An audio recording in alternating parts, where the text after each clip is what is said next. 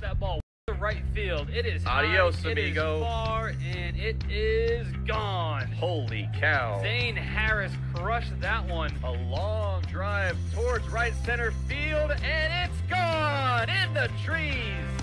Hit from Braithwaite. Swung on and missed, and the ball game is over. The Harbor Hawks have defeated the Cotuit Kettleers.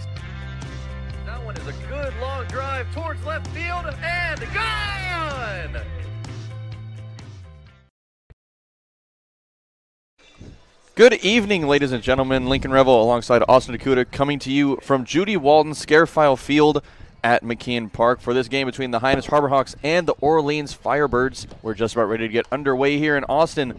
It was a fantastic game last night on all sides of the ball for the Harbor Hawks last night as we took a 5 to 1 win over the Falmouth Commodores. Well, the bats have picked up lately, Lincoln, and last night they kind of put it together on both sides, as you mentioned. Not only were the bats effective in the ball game, but the pitching staff was sensational. Jonas Scalaro firing six innings, allowing just one run on 10 strikeouts. He was efficient through those six, and then Nolan Crisp came in and slammed the door for the final three to allow just one run to the Commodore team that has given a lot of guys, a lot of teams problems this year. They can score runs in bunches, but the Harbor Hawks were able to uh, limit them out on the road. That was the second win of the season against the Commodores for the Harbor Hawks, and we're looking to get back to back wins as we play the Firebirds.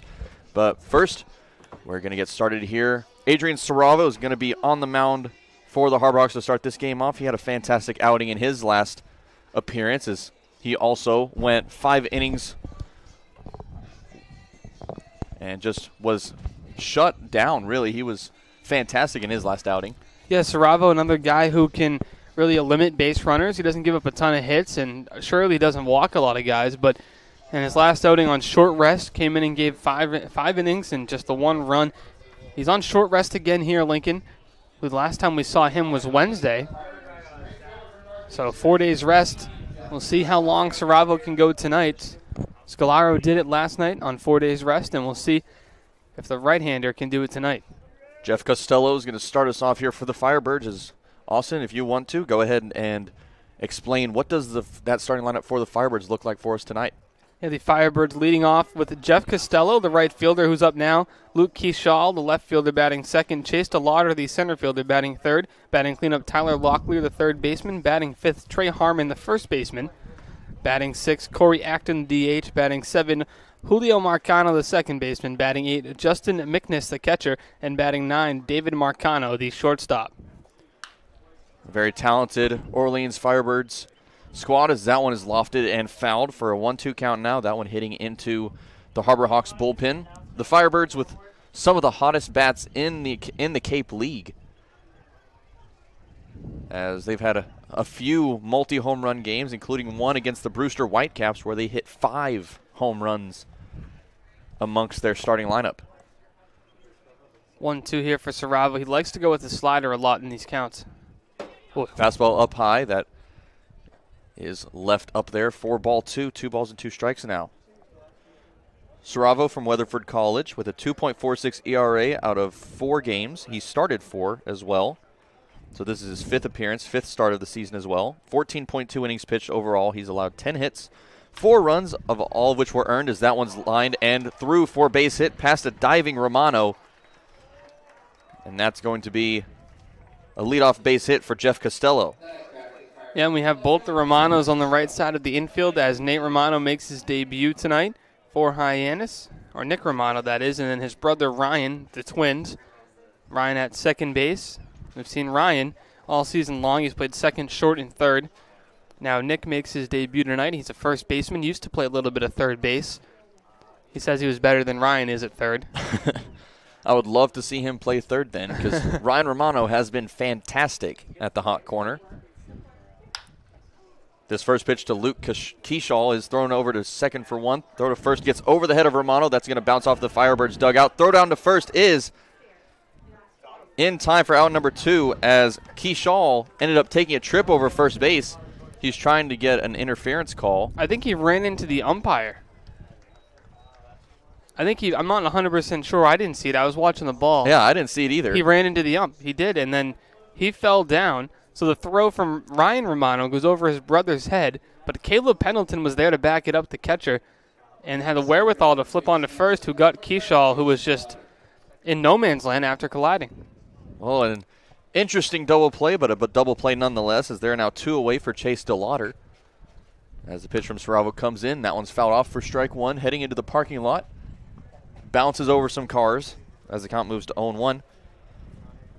And that just shows you how good Caleb Pendleton is behind the plate. Being able to run down, that's something you get taught at a young age as a catcher, to get down the first base line and back it up. He'll do it again here. Chopped over to second. Romano thrown to the other Romano. Four out number three. That's going to do it for the top half of the first inning as we head to the bottom half. The Harbor Hawks getting their first set of at bats after this on the Harbor Hawks Baseball Network.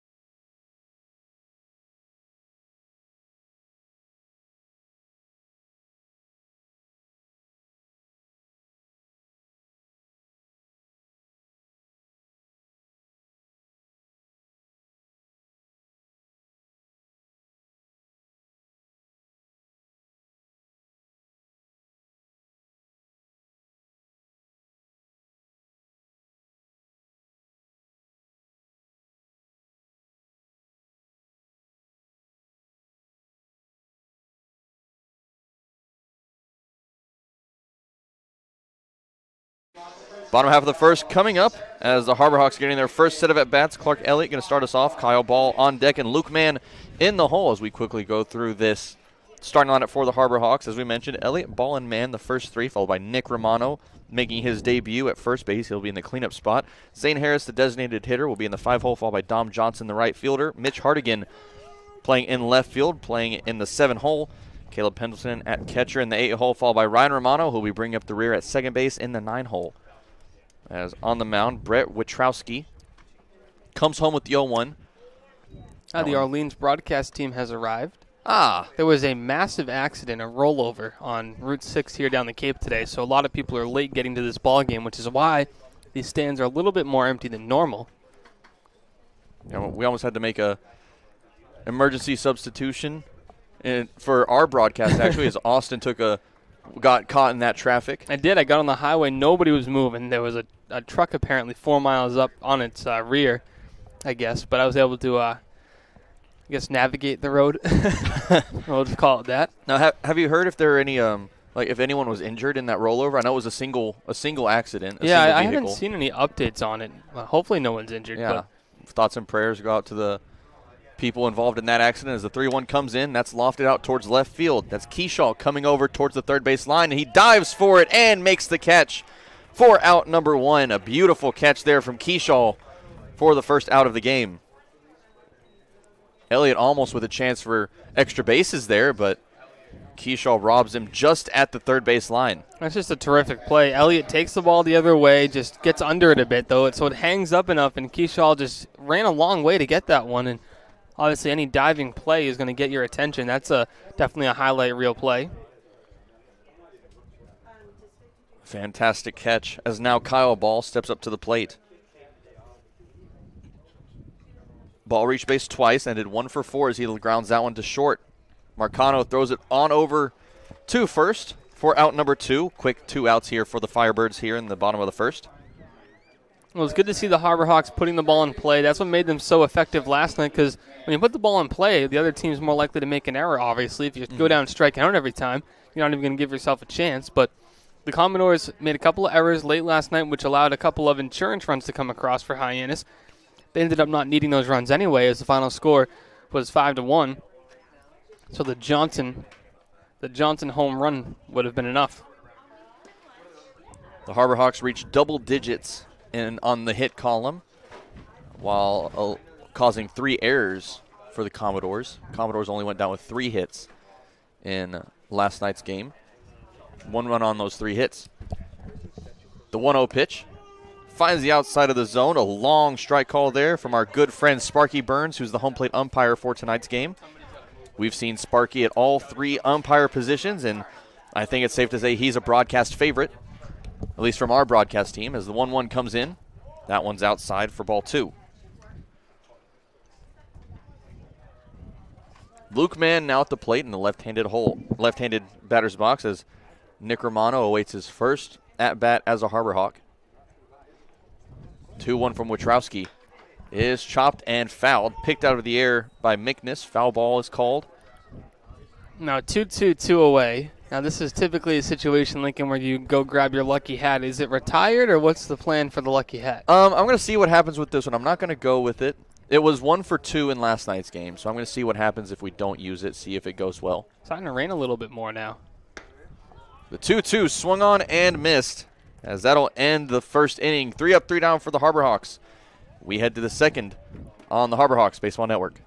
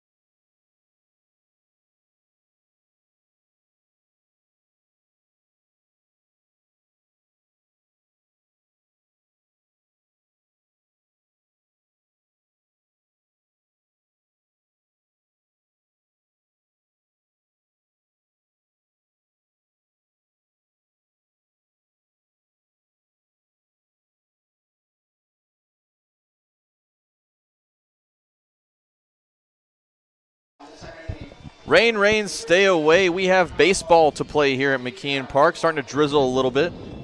We're hoping that that's all we get here tonight. Lincoln Revill alongside Austin DeCouta here for the top of the second inning. We are scoreless here as Adrian Saravo comes back for his second inning of work. Drops that one in for strike one to Tyler Locklear. And the second inning gets underway. Right before we started the game, you and I were looking at the the forecast, and there was nothing. Like, no, yeah, yeah. it was cloudy, but all of a sudden now it's raining. Just welcome to New England. That's how it's been the last month. It's rained almost every day. Yeah, rain has become something, somewhat of a, yeah, regular occurrence, you might say. It's Very- normally not like this either. Not in July. I do see some clouds starting to break open. See some blue starting to break through the clouds out towards the outfield. As the count becomes one ball and two strikes now to Locklear.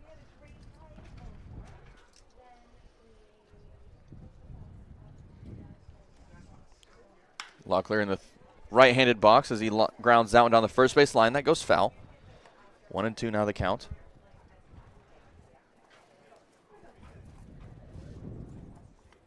Tyler Locklear, originally from Abingdon, Maryland. Goes to Virginia Commonwealth as the 1 2. Grounded down the third base line, picked up by Luke Mann. The throw over to first is in time for out number one, a 5 3 putout to start this second inning. Good play by Luke Mann over at third. We haven't seen him at third for a few days now. He's been DHing as of late. He had pitched against Bourne last week, so they've been giving him some rest, letting him hit, keeping that hot bat in the lineup, but has not lost a step over at the hot corner. And now with one away, Trey Harmon steps to the plate. Harmon, six foot four, 245 pounds. He's a 286 hitter so far in the season. In five games, he's four for 14 as he watches that one go. Two balls and no strikes to count. Harmon from Somerset, Kentucky, plays at Stetson.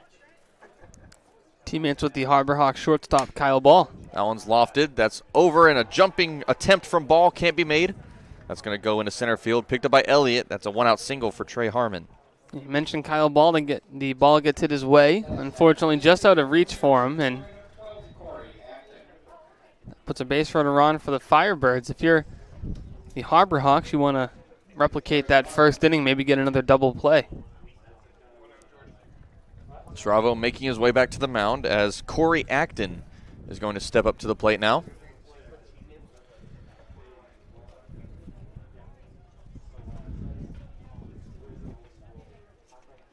Saravo with a quick look over at first before coming home with the first pitch. That one's lined down the third base line. That's going to drop for a fair ball. And that's going to be runners on second and third now, as that is a double for Corey Acton. Trey Harmon extending over to third. And a really perfectly placed ball there from Acton on that double. Yeah, that might have been right on the line, down the left field line, if not a foot inside. But a good job by Mitch Hardigan to get all the way over there and cut it off because if it gets to that corner out near the foul pole, just past the bullpen, then that's a run coming in As Harmon was able to move all the way to third. So if you're a Saravo runners in scoring position now, just one away, you're looking for a, a week out where you keep those runners where they are. You know, a pop up to the infield, a strikeout. So fly ball of the outfield might be a run.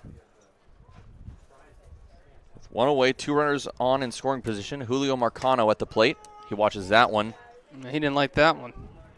So on the inside part of the plate, a emphatic strike call from Sparky Burns behind the dish, but Marcano kind of shook his head a bit. We saw Julio the last time we played the Firebirds. Ended one for three, along with a walk. You know, one from Saravo comes in. That good stop there from Pendleton. That ball finds the dirt. As that evens the count at one and one. Julio Marcano, twin brothers with his with another Firebird in the starting lineup today, David Marcano. David's going to be in the nine hole for the Firebirds twin brothers, the Marcano brothers. David is about five minutes older than Julio. Yeah, twins on each side of the ball. I mean, mm-hmm. got the Firebirds with the twins, the Marcanos, the Romanos on the Harbor Hawks. I, that might be a. I don't know if that's ever going to happen in the Cape again. No, if, if, it has happened before. I don't think it's happened. We'll have I've, to find out. I don't know how we, how we find that out, but I've checked with a couple of sources that know a pretty good amount about the Cape League. Neither of them have heard of it happening before. It's interesting. It'd be interesting to see what comes about from this. The Romano brothers on the right side of the infield. Ryan Romano at second, and Nick Mark Nick Romano at first. As the one-two swung on and fouled off. Fastball at 92 miles an hour from Saravo on that pitch. Nick was at the game yesterday in Falmouth and watching as He's activated and in the starting lineup today in batting cleanup.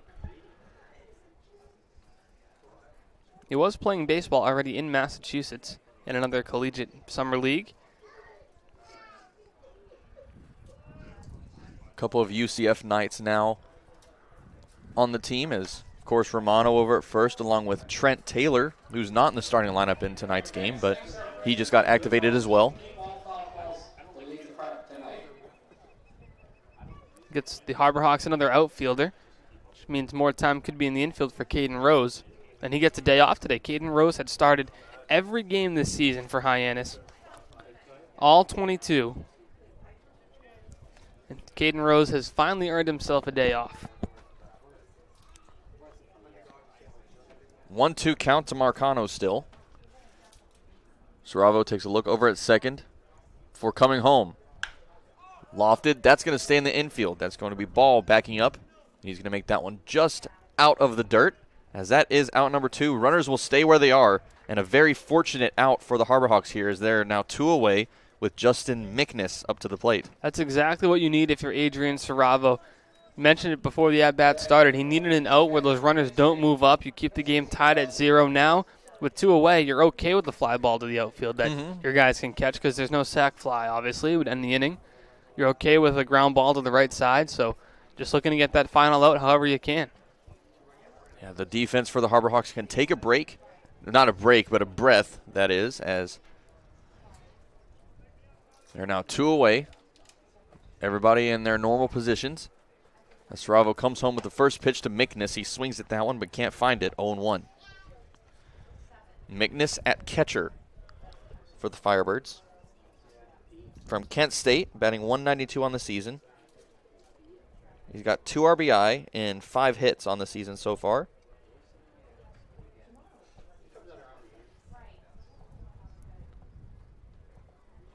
The 0 1 from Saravo. Grounded over towards second. Picked up by Ryan Romano. Throw to Nick. Mar- Nick Romano is in time for out number three. That's going to end the top half of the second. But before we head to the third, we're actually going, or to the bottom of the second, we're actually going to toss it on down to our sideline reporter, Taylor Farmer. Taylor, what's on update? Nolan, three innings of work for you last night to close the game with a win. How'd that one feel? Uh, Jonah started us off with a good start yesterday, and I just tried to come in and complete the game and throw the last three innings, give our team a chance to win. Now, your second year playing in the Cape League. What's this experience been like for you? Uh, it's been awesome. Been able to come up here for two years now, play for the Harbor Hawks for a second season. It's been a really good experience. Now, you played with and against the best of the best here with Team USA and in the SEC. How do you feel you've grown over the past couple of years? Uh, just from high school to college to playing summer ball, even in high school and up here in the Cape, it's been a learning experience, of course, and just trying to get my game to the highest level. Awesome. Well, thank you. Here at McKeon Park, alongside Nolan Crisp, I'm Taylor Farmer, Harbor Hawks Baseball Network. Fantastic interview from our sound reporter Taylor Farmer, who caught up with Nolan Crisp before today's game. Crisp had a fantastic relief outing last night as he came in relief of Jonas Scalaro and threw three fa- fabulous innings, I might say. And we're actually going to take a little break now as we head now to the bottom half of the second on the Harbor Hawks Baseball Network.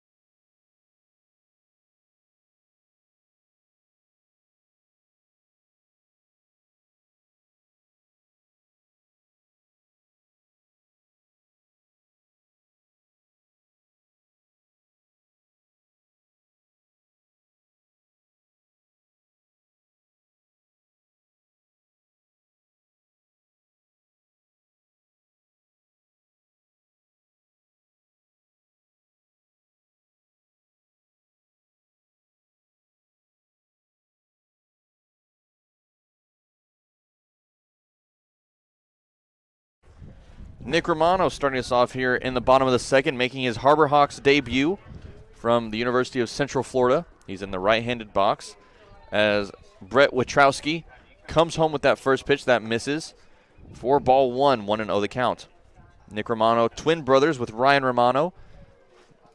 I asked, I talked to Nick before today's game, and he said that Ryan is actually about 10 minutes older than Nick is.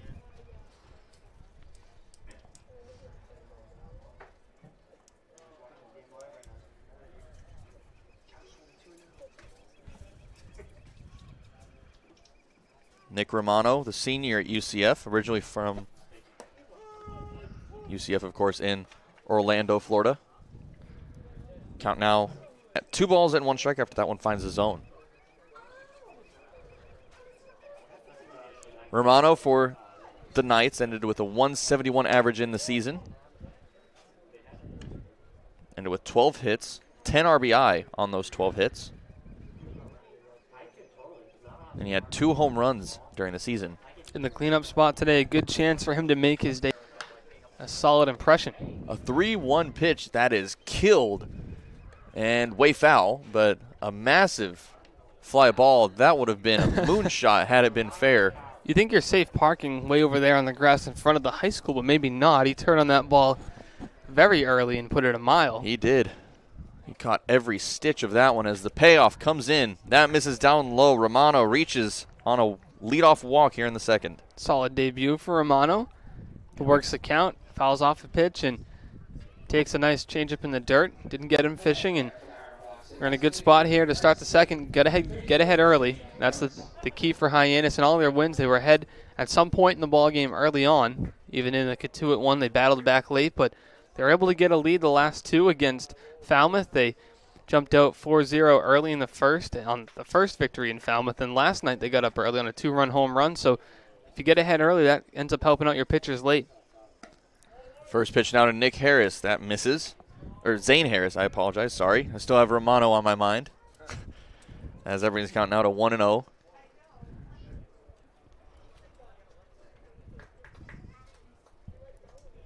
Zane Harris has put together some good at bats as of late. He's walked a ton. He's got some power too. Orleans got to be careful with him. He likes to pull it to right field here at McKeon. Harris reached base once in last night's game on an error. Reached home as well. One of, part of a three-run inning back in the eighth in that 5-1 victory. With all the, with all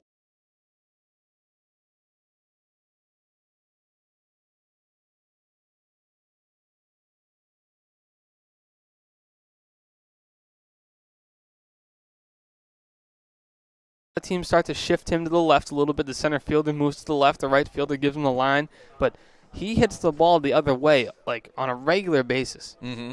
One home. He has one home run out to that right center field area, just past the Curry College sign to the to the left of the scoreboard. He also had one in last night's game that went to deep left field. So he has experience hitting to all sides. The Orleans defense seems to be about about even. No weird shift by the looks of it right now as that first pitch comes in. The long strike call from Mr. Burns brings the count to 0 1.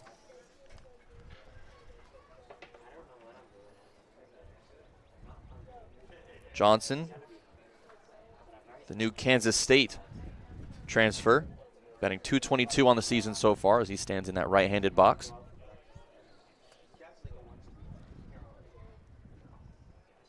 The 0 1 from Witrowski is flown and fouled. That's going to head out of play past the Firebirds dugout. Good pitch there from Witrowski, an 88 mile per hour fastball. Looked like on the hands, and Johnson's able to fight it off. Now 0-2, he has a lot of different ways he can go. Hands, and Johnson's able to fight it off. Now 0-2, he has a lot of different ways he can go. Try to get him fishing at something in the dirt, or come back high and tight with a fastball in the hands. But the double play is in order, and that could be key for Orleans to get out of this inning. Infield fly rule also in effect with nobody out, runners on first and second. Witrowski taking a while in the set. He comes home. That's going to be off the bat and fouled, Oh. luckily. An unfortunate pitch Man. there as Johnson kind of smiles that one off. And he ducked, and I thought he brought his bat down, but I think the curveball dipped right as his bat was going down. Mm-hmm. It was an off-speed pitch. That's something you don't see every day. It's unfortunate when you do, but Mm. Once in a while, but Mhm. I've never actually seen it hit off. I've seen it hit off the bat when guys have ducked, but I've never seen it hit off the bat and pop up in the air like that to almost be caught. yeah, no. Almost an out number one, which would have been, I'd say that might be the worst way to go out, where you don't even swing at it and you still foul it off. Count still at 0 and 2. Johnson bobbing his front foot up and down. Swings at that breaking ball, can't find it. 75 miles an hour. A beautiful pitch from Witrowski for out number one. Great Uh, pitch. He starts that on the outer half of the plate, and it just dives off into the left-handed hitter's batting box, and Johnson goes to get it, but comes up empty, and a big out number one. Second strikeout on the night for Witrowski. Has one in each inning so far as Mitch Hardigan is going to step up to the plate.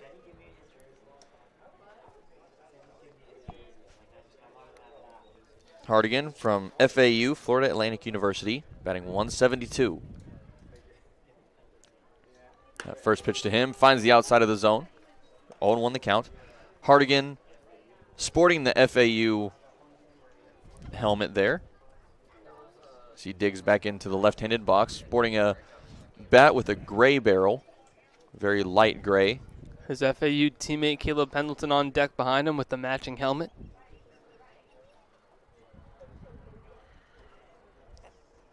The 0 1. That's too far outside. One ball and one strike now.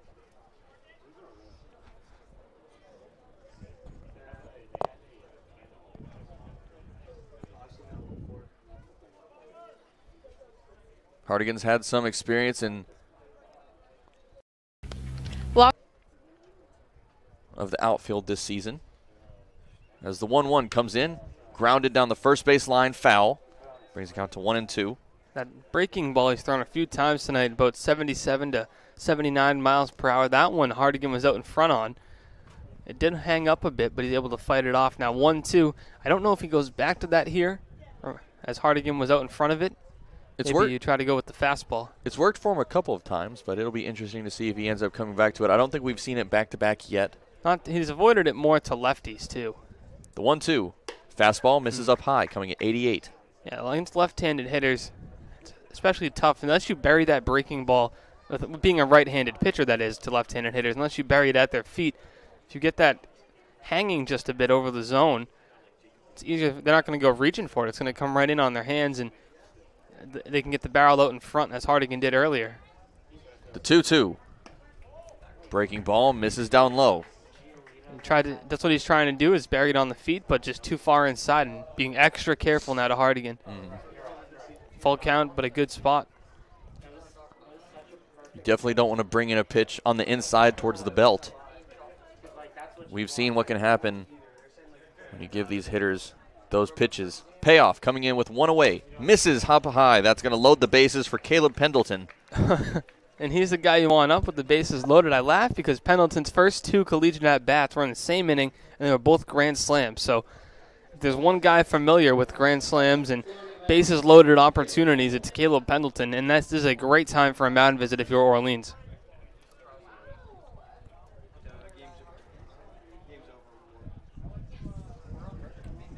Little mound visit here for the Firebirds, including Mickness.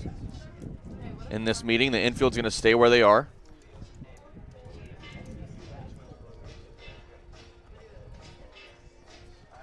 We've seen a lot of power from Pendleton. Hmm.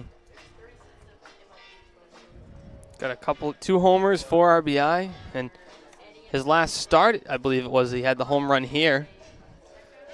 That was against Chatham mm-hmm. on Saturday. The solo shot.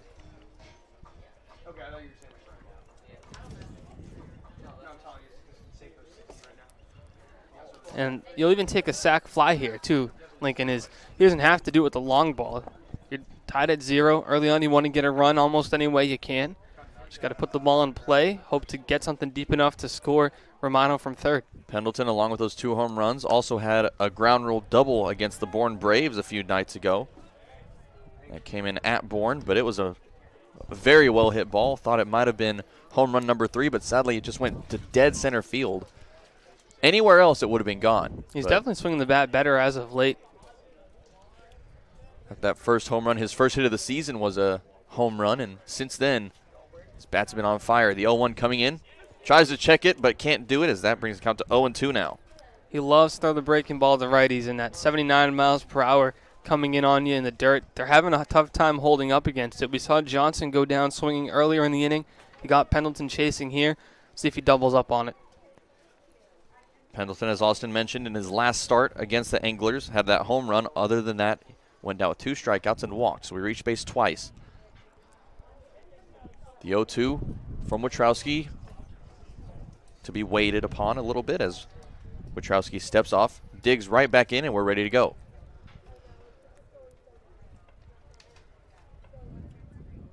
Bases are loaded. Pitch comes in. The 0 2 is fouled. Another breaking ball there at 75.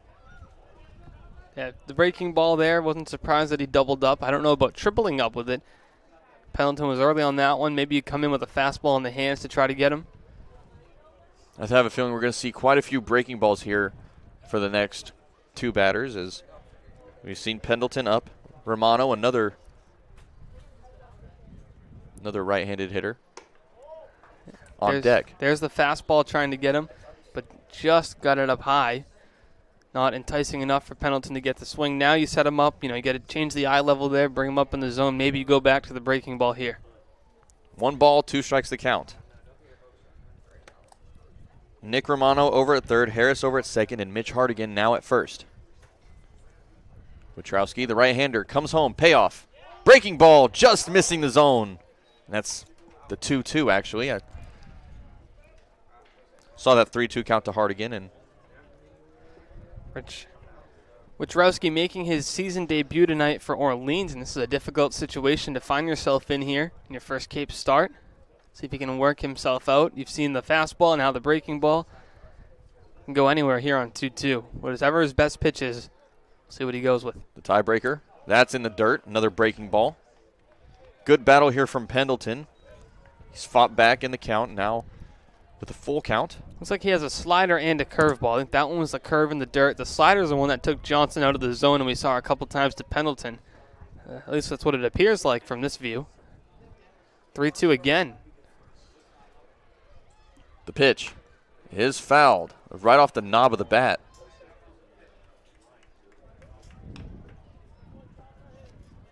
Nowhere to put Pendleton, so he's got to come in the zone. And the fastball we've seen about 88 Lincoln, so it's a pitch that if Pendleton can recognize out of the hand, it's not one that's going to blow by you. No, yeah, definitely not. It's effective as we've seen with Jonas Scalaro. Scalaro sets about 88, but if you can pinpoint it, it's definitely effective. Payoff is fouled once again. Three and two. Still the count to Pendleton. The excitement builds even further. Quite the battle brewing here. A chance for the Harbor Hawks to take an early lead. A base hit scores at least one. Zane Harris with a surprising amount of speed on second. We'll see if he can. We'll see if he gets waived if a base hit does come along. Of course, the double play is possible here as that one's grounded over towards short. Diving play from Marcano. That can't get to him as that will result in no outs. He bobbles that ball and the Harbor Hawks score a run. Be ruled a hit, so an RBI single for Pendleton, and good things happen when you hit the ball hard and on the ground, and that's a tough diving play to make for Marcano. Unfortunately for the Harbor Hawks, still only one out, and you got to run in. Bases still loaded, and a couple of guys who've been swinging the bat well as of late coming up, in Romano and Elliott. Harbor Hawks out to another early lead here, leading 1 0 now against the Firebirds in the bottom of the second. Ryan Romano now at the plate as that ball comes in, that misses. Four ball one. Nick Romano, as we saw, just came in from third. Now Zane Harris on third. Hardigan over at second, and Pendleton now on first.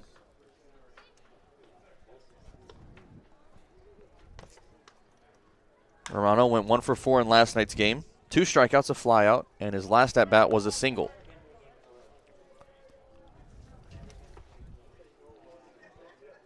Picked up an RBI and a stolen base as well as a run scored.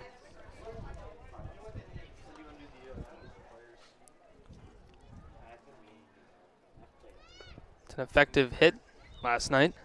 Looking for another one here, and if some games you might only go one for four or get on base once, but if you're Romano and you have your one hit, if it drives in a run in that game and you steal a base, score a run, it's an effective night, even though you did get out more times than you get on, which is typical with the game of baseball, which shows you how special of a game it is. You fail much more than you succeed, and you still have a good night. Yeah, baseball probably the only sport where you can fail 70% of the time and still make the Hall of Fame. Yeah, it, it is. I mean, in basketball, you're not going to get to the Hall of Fame by being a 30% field goal shooter. shooter so Yeah, definitely not. the No. NFL, you're not going to go to the Hall of Fame throwing seven picks, three touchdowns. A long drive out towards left field from Romano, back towards the warning track. That's going to be brought in by Keaschall. Harris is going to tag from third. That's going to score another run for the Harbor Hawks, going down as a sac RBI for Romano. Good job by Romano. He gets the ball in the air, hits it deep enough to score Harris, and two runs in the second inning. That's a good sign for the Harbor Hawks. They matched their total of last night. with two in the second. Last night that helped out, get to an early lead. Tonight looking to do the same. And at first, off the bat, it looked like that was going to go a lot further than it did. Thought that might have a chance of going out, but sadly, it just landed at the front of the warning track. Is now a two away. The hot bat of Clark Elliott steps up to the plate.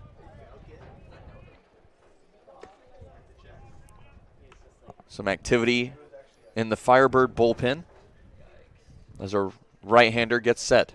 Runners on first and second. Ball misses in the dirt for ball one. Elliott at 0 for 1. Had a fly out in the first inning to start the game off. That was the 45th pitch thrown by Witrowski. It's a lot of pitches to be throwing, and you're still in the second inning.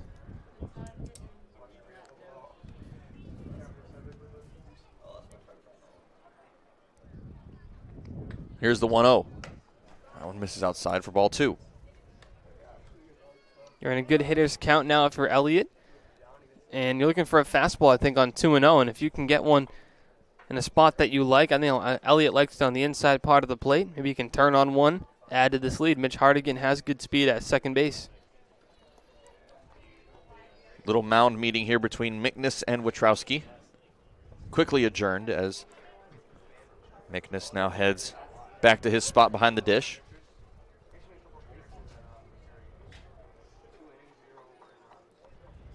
Little interleague action, or interdivision action, that is, as the Harbor Hawks in the west, the Firebirds coming from the eastern side of the Cape. As the 2 0 comes in, a pop up straight up in the air. That's going to stay in the infield, called off by Locklear. And he makes the grab for out number three, ending the second inning, but not before the Harbor Hawks take an early two run lead. And we head to the third on the Harbor Hawks Baseball Network.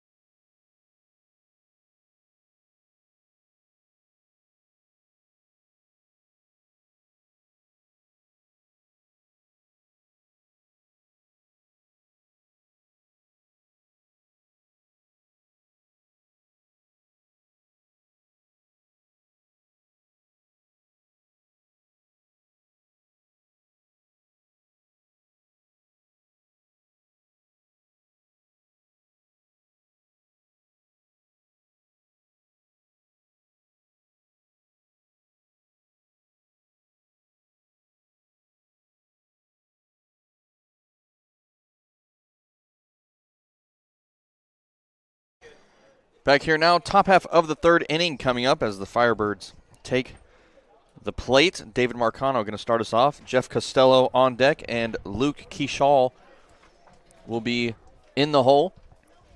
As first pitch from Saravo comes in, swing and a miss. Brings up an 0 1 count.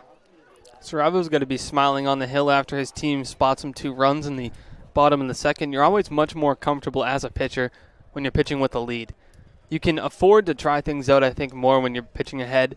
You know, if you miss with a fastball or you try to throw a breaking ball and it slips out and comes across the belt, it's not as bad when you're trailing and pitching in a tie game because one mistake's likely not going to cost you. And definitely got to feel good on the mound as he brings the 1 1 home. That one misses. Two balls and one strike now, the count. As I mentioned, last inning, David Marcano, the older of the Marcano twins, his brother Julio is five minutes younger. Both Marcano brothers from the New Jersey Institute of Technology. Marcano batting 153 on the season with a home run and a pair of RBI.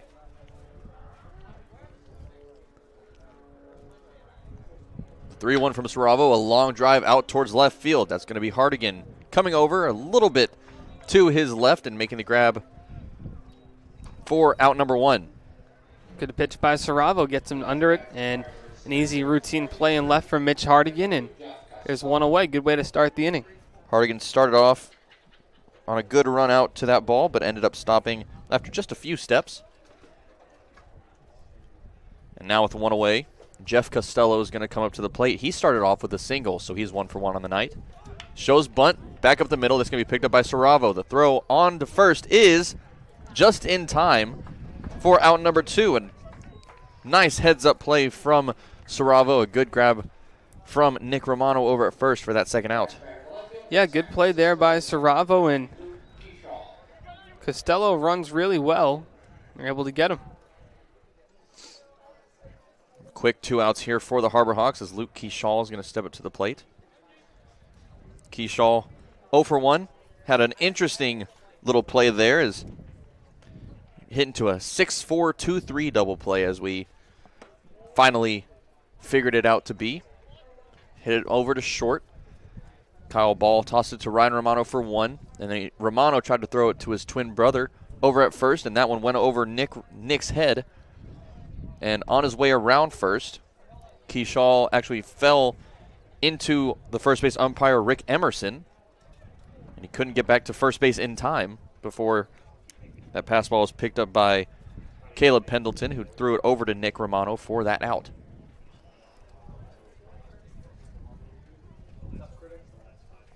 Two zero from Saravo misses down low. Three and zero now the count, with two away.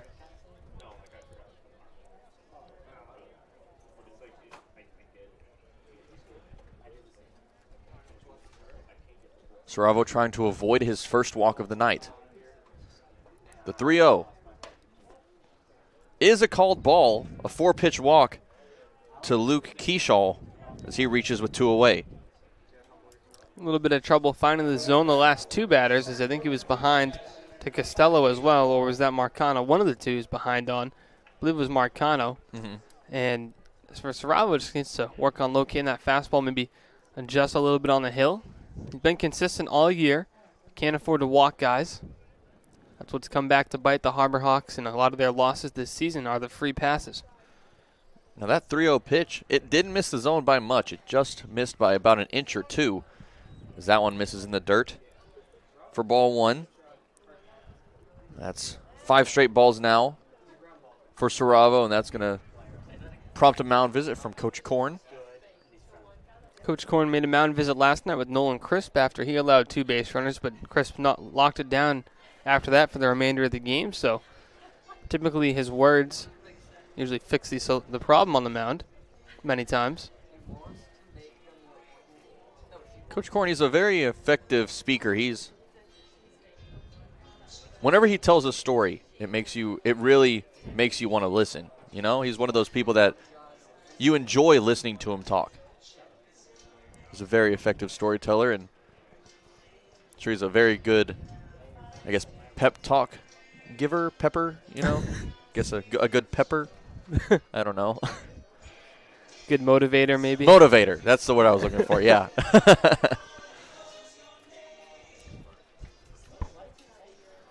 the uh, Bourne Braves and Falmouth Commodores game that was set for a 6 p.m. first pitch has been pushed back to at least 7. Really? They've endured a couple of rain delays, or originally it was 6:20 after the first delay, then seven now, at least seven, so it could be later. Well, hopefully the rain will stay over there as the little bit of rain that we had earlier on has ceased for now. The 1 0 pitch comes in. Good stop from Pendleton. So that brings the count now to 2 0. And if I'm DeLauter, who's now in the left handed box, I'd say I'm at a hard red light until Saravo finds the zone here. Yeah, that's fair. He threw four straight balls to Keaschall, who's on first. So I think you're kind of just waiting unless something looks appetizing to you. You're just sitting back, I think. That 2-0 pitch swung on and fouled off. Guess that one looked appetizing. Yeah. That one sort of sort of started to come in from the to the inside part of that zone. DeLauter just got his bat underneath it a bit as he fouled that one off. Two and one now the count with 208. Harbor Hawks looking to get out of this inning without allowing a runner across. Still a long way to go for that as DeLa- as a uh, Keaschall is over at first. 2 1, runner goes. Pendleton throws from his knees down to second. The tag is not in time. Kyle Ball tried to tag the foot of Keaschall, but instead he finds second. Good effort there. A pitch that was in the dirt, so Pendleton had no shot but to throw it from his knees, which is what he did, but you're not going to get him many guys thrown out on a pitch low like that. Pendleton did catch three runners stealing in the ball game where he last was the starting catcher against Chatham. He also picked a runner off second base. He's been great this season behind the dish. I believe he's one of two players without an error on the year. That is correct. Him and Zane Harris, the only two who have not made an error. And now Nick Romano as well. His first start though. Yeah. Count is full, three and two. And of course, Keaschall, who's now on second, has his first stolen base of the season. He's one for one in stolen base attempts. Some enthusiastic words of encouragement to Saravo now as he brings the payoff after looking over at second. Here he comes. That breaking ball misses. Ball four. Now back to back walks as Chase DeLauter reaches first. That's going to bring Tyler Locklear to the plate. Well, now the force is at any base, so ground ball to third. Luke Mann can just step on the bag. Go the short way in the middle, and your infield stresses a little bit less about making that throw across the diamond on a tough play. So we'll see how Saravo attacks Locklear after back to back walks. All three bases are hot here for the Harbor Hawks. Looking for that final out here in the top of the third. Saravo is going to step off over towards second. No throw comes in. Keaschall retreating back to second. His the entire front half of his both his jersey and his pants are filthy after sliding in to second just a few moments ago.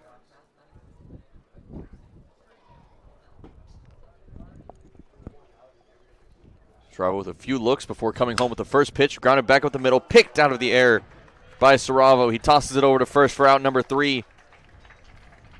And the Harbor Hawks save a run from crossing as they still lead 2 0 as we head to the bottom half of the third on the Harbor Hawks Baseball Network.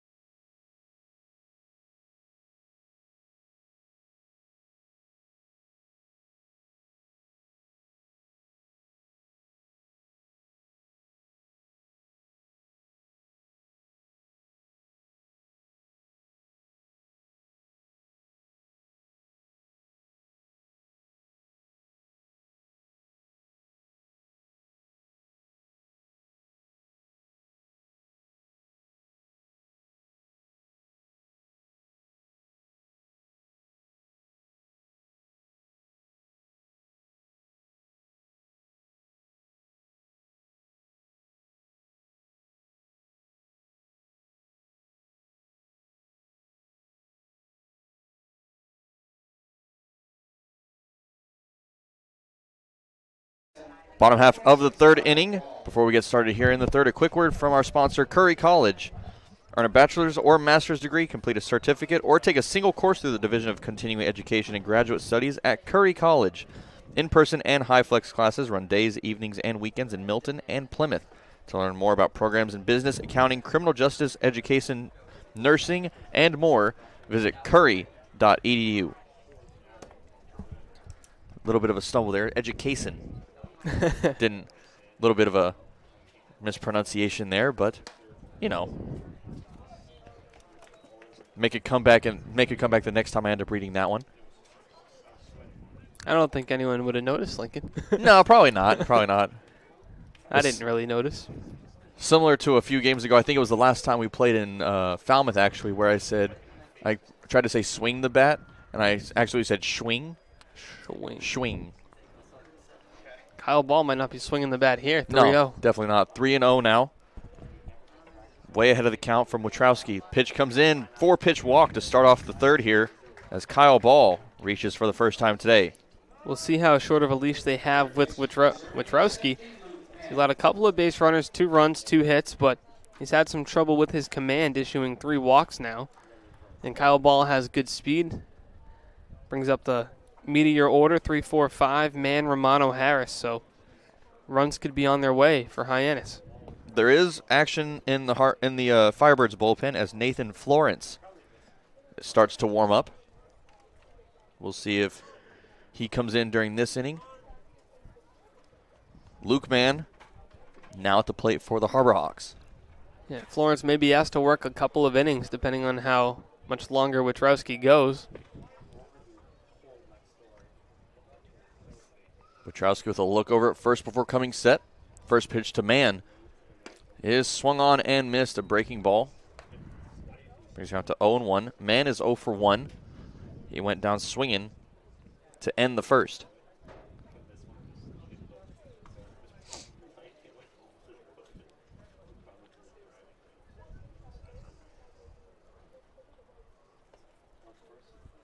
Runner on first as Witrowski comes home. Line past second for a base hit. Kyle Ball is going to reach second as that is a single for Luke Mann, who's one for two on the night. Great piece of hitting by Luke Mann. Gets the barrel out in front. I would not be surprised if that ends the day for Witrowski. And that will. A call to the bullpen comes for the Orleans Firebirds. And we're going to take a break here on the Harbor Hawks Baseball Network.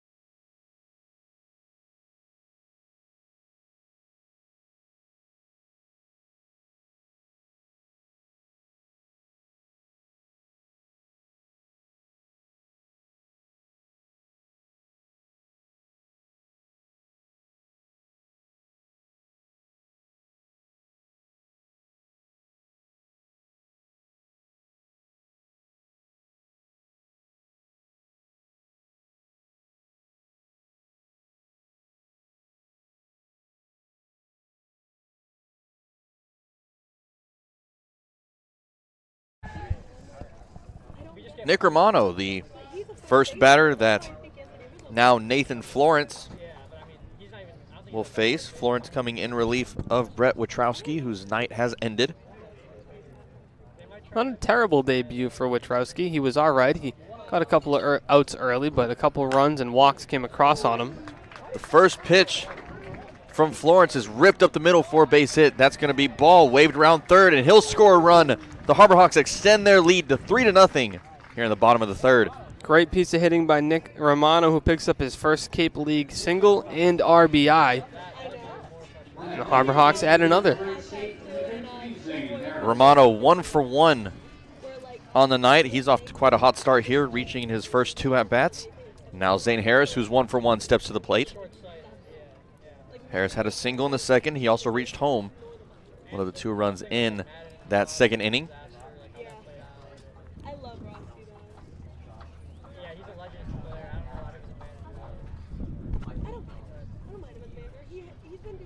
Pitch from Florence, the right-hander comes in. That's a long strike call there from Mr. Burns as that brings him up to 0-1. Harris had a great swing his first at bat. If he replicates that swing again, could be looking at a couple of runs coming in. Like his chances here. Florence at six foot three, 210 pounds, brings the 0-1 pitch, misses low for ball one. The way Harris has been swinging the bat as of late, I'd back the outfielders up even further than they are. We've seen a lot of power from Harris, especially in batting practice. He's launched some over the scoreboard, hit quite a few off of the scoreboard as well. That one finds a zone. Seems like a pretty wide strike zone for hmm. tonight's game. This count moves to one and two now.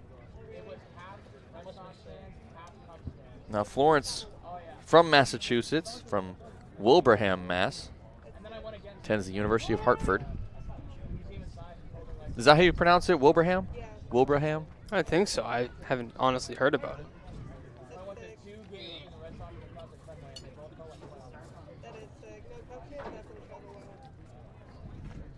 The one two. Called strike three on the inside. Ooh. Harris does not like that one. That's a tough call. I don't know if that one's in the zone. I don't know about that one. Very wide zone that we've seen here tonight, but that is out number one as Harris returns back to the dugout. Now Dom Johnson steps to the plate, who went down swinging in his first appearance. Saw that nasty slider from Brett, Retra- Brett Witrowski. There it is. Johnson coming off a night with a two-run home run. New bat and gloves on. Sporting white gloves with that bright orange Nike swoosh, Nike check, some might call it. I don't know. I think I think the check is I think a check is the original word. I always called it a swoosh. Yeah, either one. Count it one and zero now to Johnson.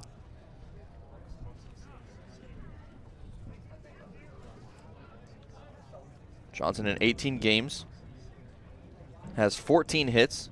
He's crossed base six. He's crossed home six times as he takes a heavy hack at that one, but can't find it. One and one the count.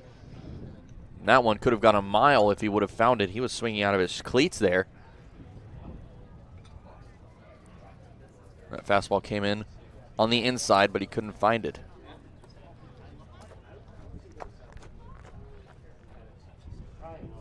Florence comes set, takes a long look at second base, comes home. That one misses for ball two.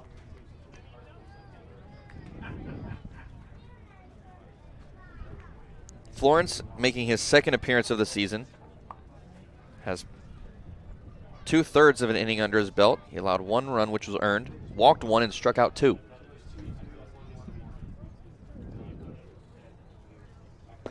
The 2 1 finds the zone. Evens the count. Two balls and two strikes with one away now. Johnson looking for his first RBI of the night. We've seen some speed from Mann over at second. We'll see if he can be knocked in on a base hit here.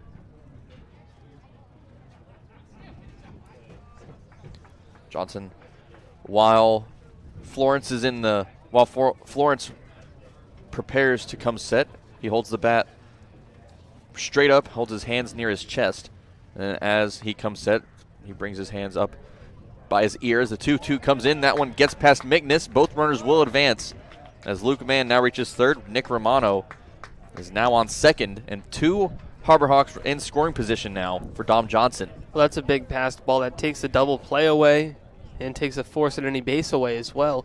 So now with runners on second and third, a good chance to add on. Count is full.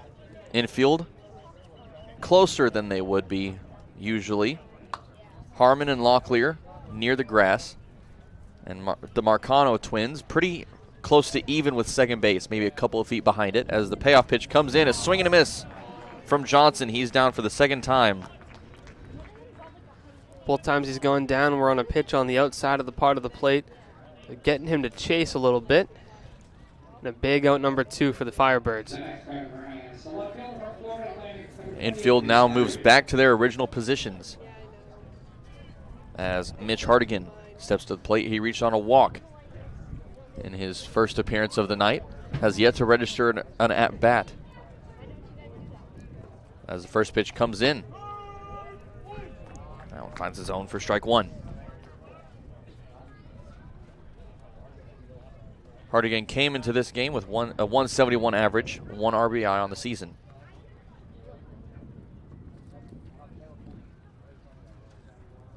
Florence now with his 13th pitch. Misses. Evens the count. One ball and one strike now.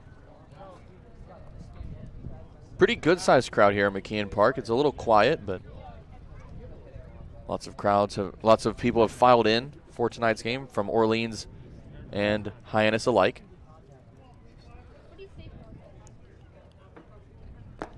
The 1 1 spiked in the dirt brings the count now to two balls and one strike. Quite a few fans past the Harbor Hawks dugout on that little hill near the Harbor Hawks bullpen down the third base line. Lots of lawn chairs tonight.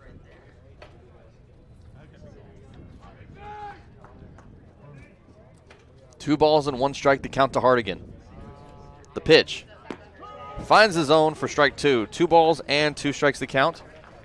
I'm going to test something here, Austin. I No. went went without it last time. It didn't work, so we'll see what happens. Lincoln's lucky hat is back. Two, Not- two, two away. It's supposed to bring good luck to the Harbor Hawks. Hasn't really been lucky the past few Emphasis on supposed to. Supposed to, yeah. we'll see what happens here. The 2 2. Grounded towards second. That's going to be picked up by Julio Marcano. Throw to first is in time for out number three. That's going to end the third inning of play as the Harbor Hawks maintain that 3 0 lead. But before we go to the fourth, we're actually going to see a new episode of Meet the Harbor Hawk Monday. Nolan, three innings of work for you last night to close the game with a win. How'd that one feel? Welcome back to another episode of Meet the Harbor Hawks Monday. Today we asked some of our pitchers if they could eat one food for the rest of their life, what would it be?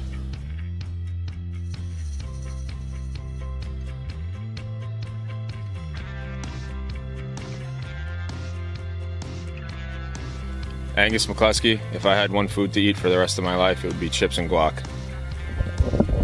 Cooper McKeon, if I had one food I had to eat for the rest of my life, I would definitely go with Chipotle. I'm uh, Rod Cooper here. Definitely going to go with Chipotle for the rest of my life. Coach Corn? In honor of my last name, I would like a New York corn. Thank you. Hunter Furtado, I'd go with Chick fil A for the rest of my life. Yeah. I'm staying with the corn. It's the back nine bully here. If I had one food to eat for the rest of my life, it would be Chipotle. Hi, I'm Agent Saravo, and one food I could eat for the rest of my life would be crab rangoons. Those are good. That's all for this week's Meet the Harbor Hawks Monday. Make sure to tune back in next week for another episode. Here on the Harbor Hawks Baseball Network, I'm Taylor Farmer. And another fantastic episode of Meet the Harbor Hawks Monday. And you can, if you want to see more of that episode or our past episodes, you can actually check our YouTube page. All of those episodes will be right on there.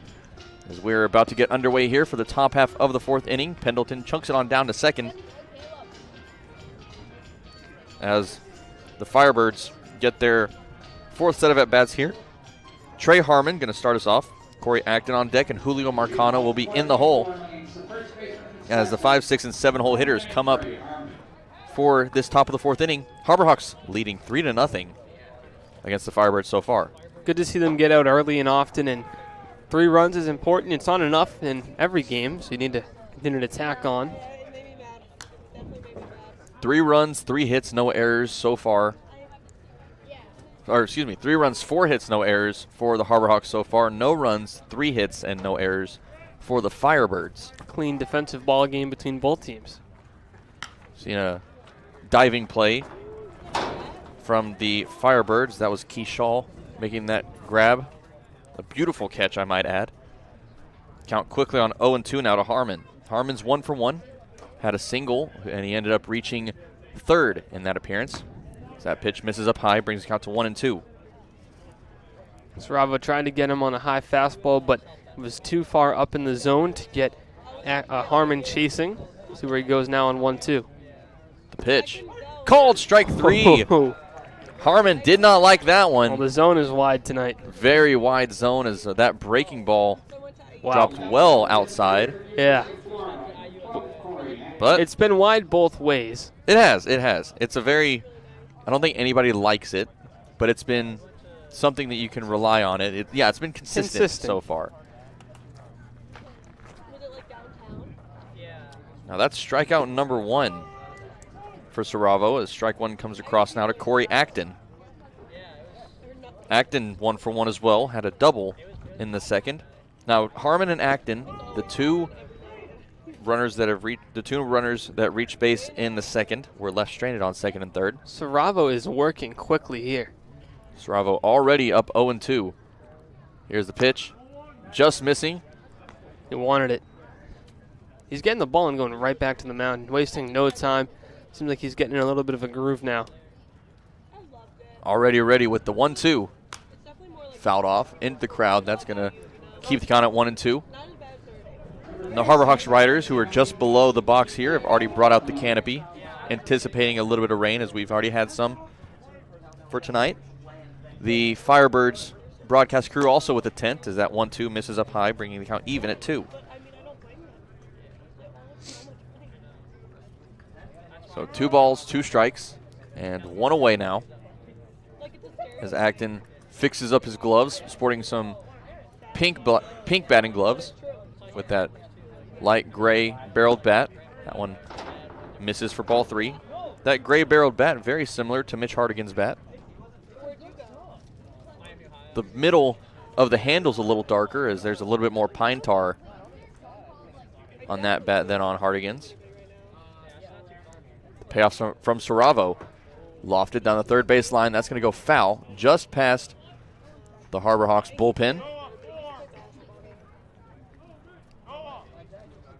Going to remain at 3 and 2. Acton came into this game with a 176 average, only one RBI. Has three hits. See, lofts that one foul once again.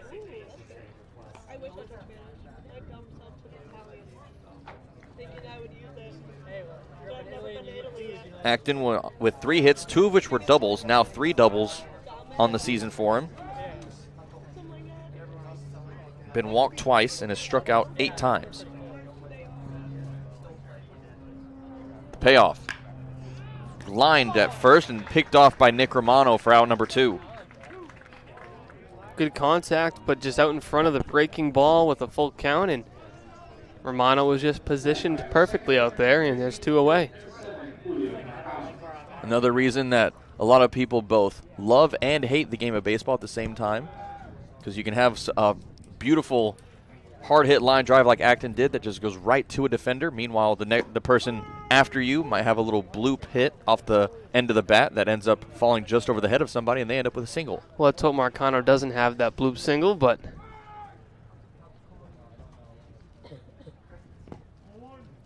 It is an unforgiving game. Very much so. I mean, in, in other sports, you can do everything right and fail, obviously, but I think yeah. baseball more than others. One and one the count. Saravo comes home. Misses. Brings the count now to two balls and one strike. Saravo almost through four innings. As we know, his longest outing so far has been five. Swung on and missed. Two balls and two strikes now. Now, based on what we've seen from Saravo right now, do you think that we can expect him to match that six-inning outing that we saw from um, that we saw last night? I'm not sure. I don't know what his pitch count's going to be. I know there's innings limits and pitch count limits for these guys, so I don't have enough information on what his is going to be to see if he'll match Scalaro. Now, Scalaro didn't throw a lot of innings at Florida State, which opens him up here in the summer to throw more. Now, Saravo did throw a lot of innings at Weatherford.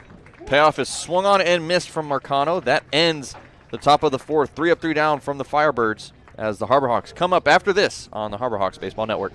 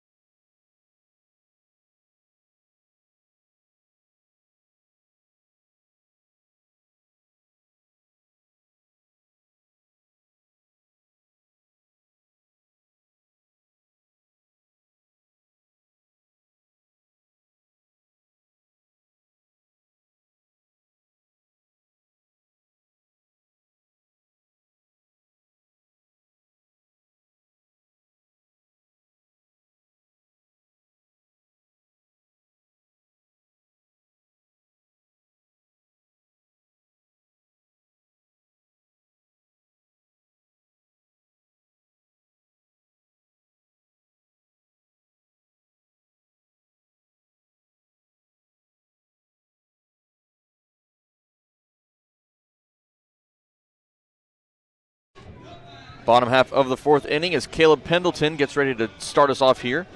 Lincoln Revill alongside my good friend Austin DeCouta here for the bottom half of the fourth inning. The Harbor Hawks up three to nothing on the Orleans Firebirds right now. Pendleton one for one with a single in his last at bat in the second. Pitch from Florence that misses. 1 0 the count. Pendleton came into tonight's game with a 137 average. That's gone up a bit as he swings at that one. Can't find it. One and one the count.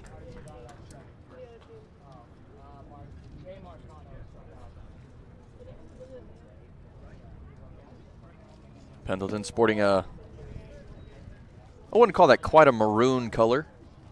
It's a, it's a little darker than a maroon. Don't know what you'd call that call that color. Is the 2-1 comes in. Evens count two balls and two strikes. Now I am talking about his bat. He's sporting a, a very dark red barreled bat.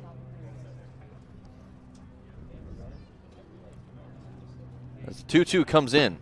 Called strike three. He Pendleton loves the outside down. corner. That one, a little bit outside Pendleton, let Burns know he didn't like the call. It's been called all night, I think. Was outside, but Sparky Burns is going to make that call. That's very easy to know. That Mr. Burns does love that outside pitch.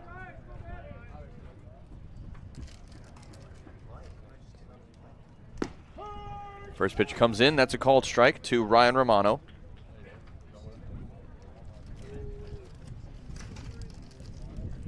Count moves now to 0 1. Swing and a miss there. 0 2 the count.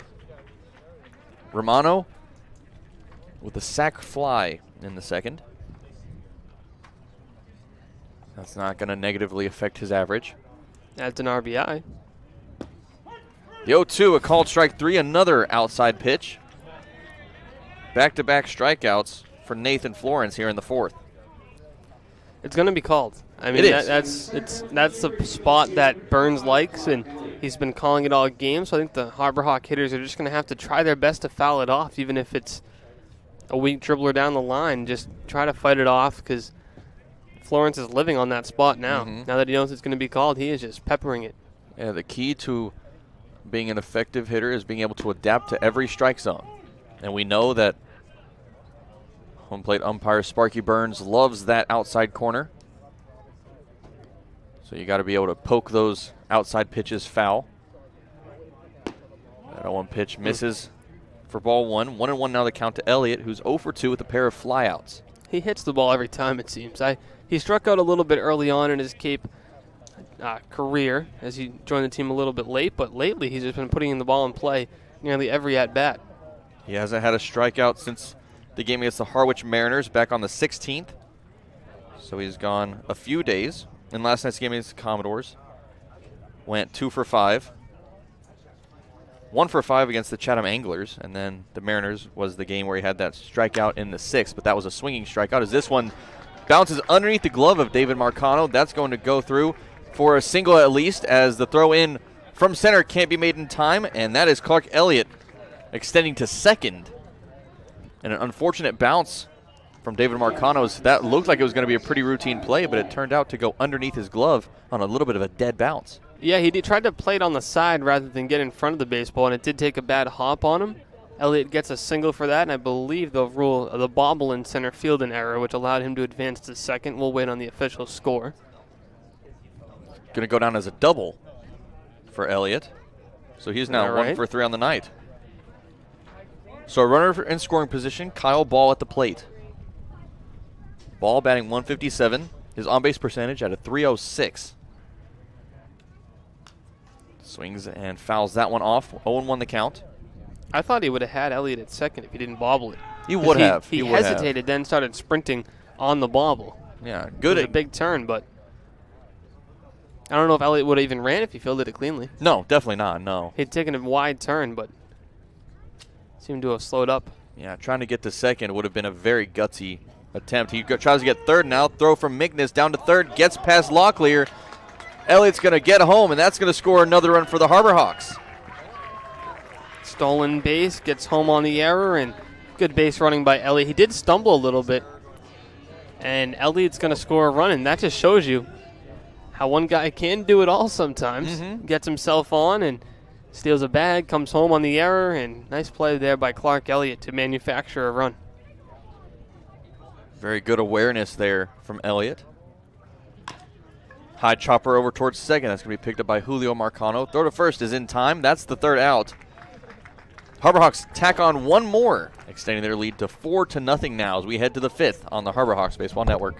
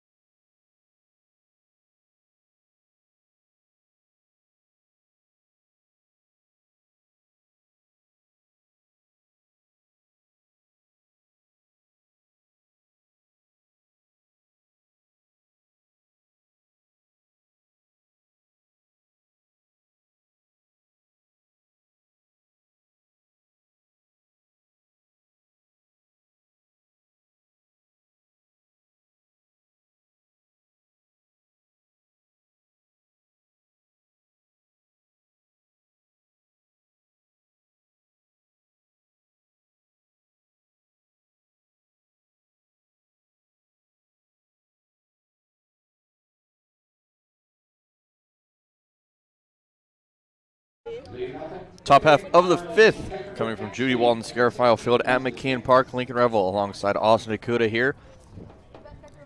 As the Firebirds come back up to the plate. Do up for them is Justin Mickness, David Marcano, and Jeff Costello. As Mickness steps into the left-handed box. First pitch from Saravo comes in. That's flown and fouled. Heading just past the crowd here at McKeon Park. Somebody made a catch on that, I think. Really? He's holding it up proud. All right. Chance for a maybe a future Harbor Hawk there. I think he was about 40 years old. Oh, was he? oh, maybe not.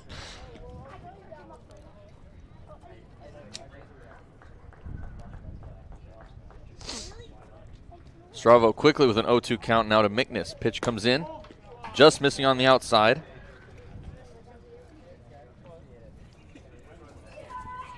Saravo back on the mound for his fifth inning of work. If he can get through this inning, he'll match his season high as the 1 2 is lofted. That should stay playable for the infield as Kyle Ball is coming back. And he'll make the grab for out number one. Goes down as an F6 for those of y'all keeping score at home.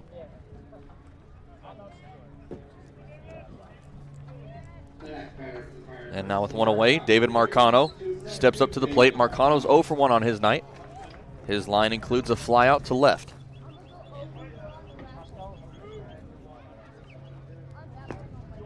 Saravo misses that one. Down low, that one hits the dirt. Bringing the count to 1 and 0 with one away. Another one spiked in the dirt. Two balls and no strikes now. There is action in the Harbor Hawks bullpen. We'll have that name for you here in just a few moments.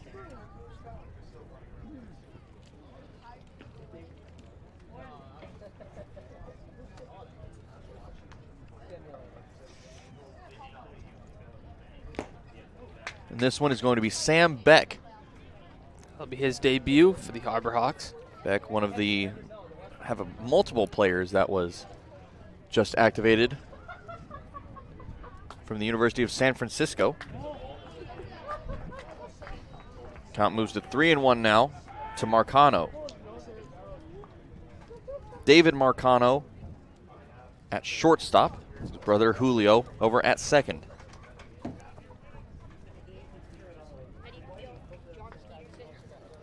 Saravo in the windup. Here's the 3 1.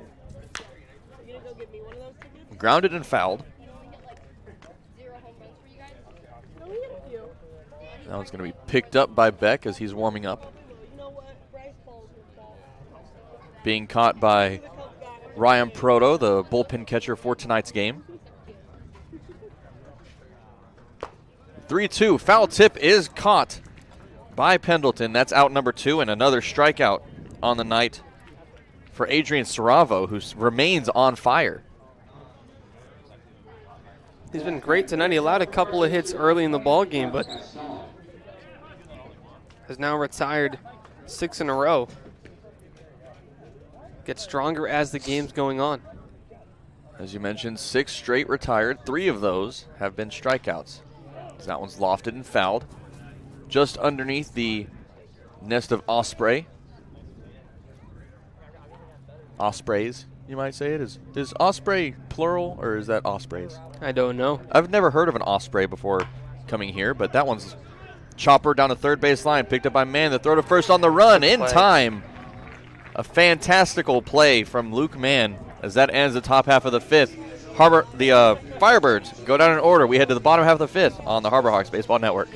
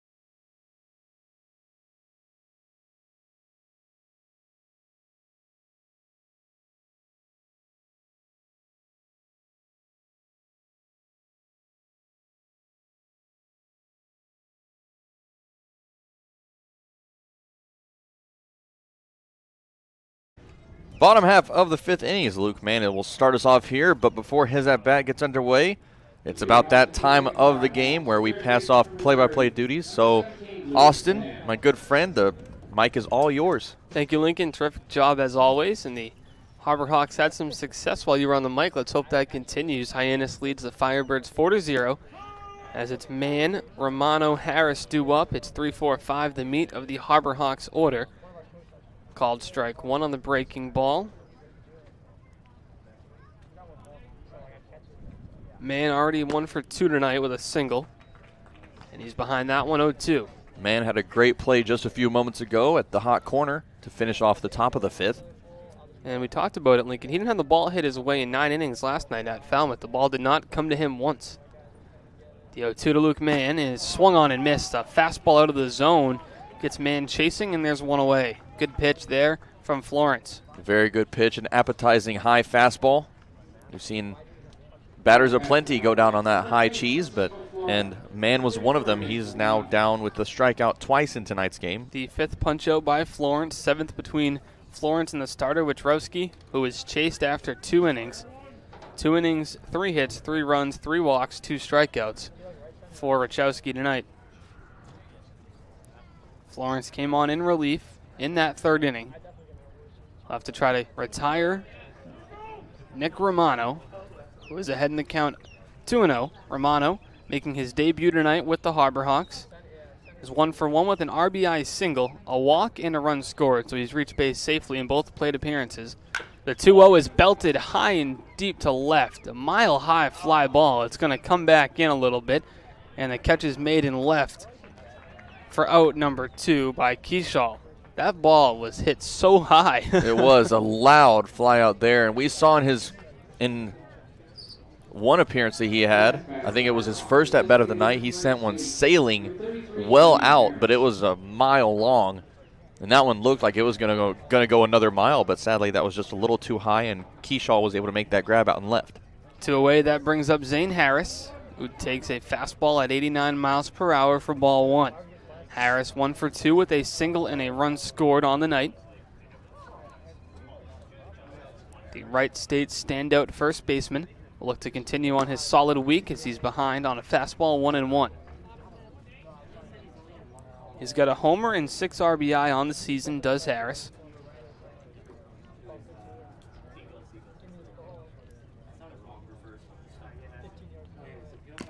The 1 1 is fouled off and off the glove of Mickness behind the plate. The count is 1 and 2 with two away.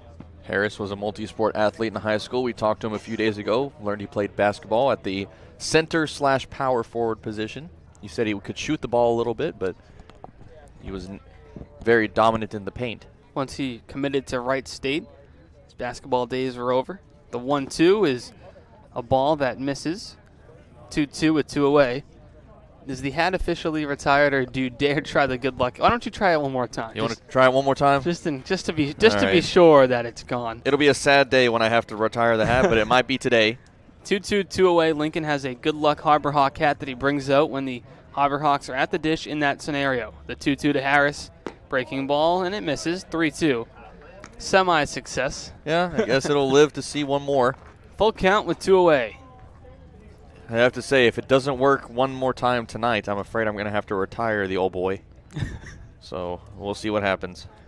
The 3 2 on its way from Florence. A fastball, and Harris gets under it a bit, flies it to right field. Moving in on it and making the catch is Costello to end the inning as the Harbor Hawks go down in order in the bottom of the fifth. Top of the sixth on its way in just a moment on the Harbor Hawks Baseball Network.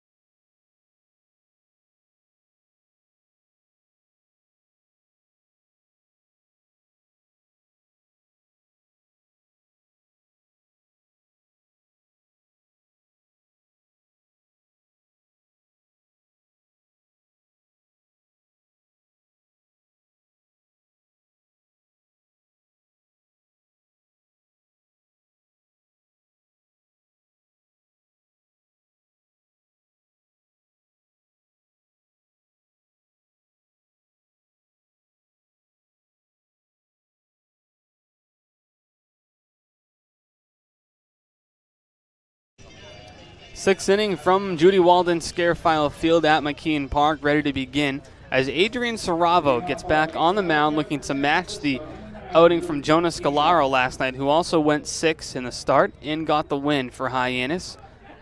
Scalaro went six innings, allowing just the one run and striking out 10.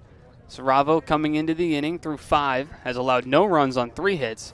That was pitch number 74, which finds the zone for a strike. So he's been efficient, Lincoln, through those five innings. He has. He's been fantastic. As you mentioned, no runs on three hits. And he's just putting together a couple of great for great last outings. He's going to have to cut through the meat of the Firebirds order here. In the top of the six, it's two, three, four. Keaschall, DeLauter, and Locklear due up for Orleans. Now, with a couple of, there are about two weeks left in the season, and with pitchers getting about four days worth of rest, it'll be interesting to see. Do you think we might end up seeing some seven inning, eight inning outings from Scalaro and Saravo, do you think? Or I don't know. I think it depends on what their colleges want to see. That's true. They yeah. do have innings limit, which Adrian mentioned to me mm-hmm. a couple weeks ago. We were talking about that, and he said, you know, there's games where I'm only going three because I, you know, have a certain amount of innings I throw in a year.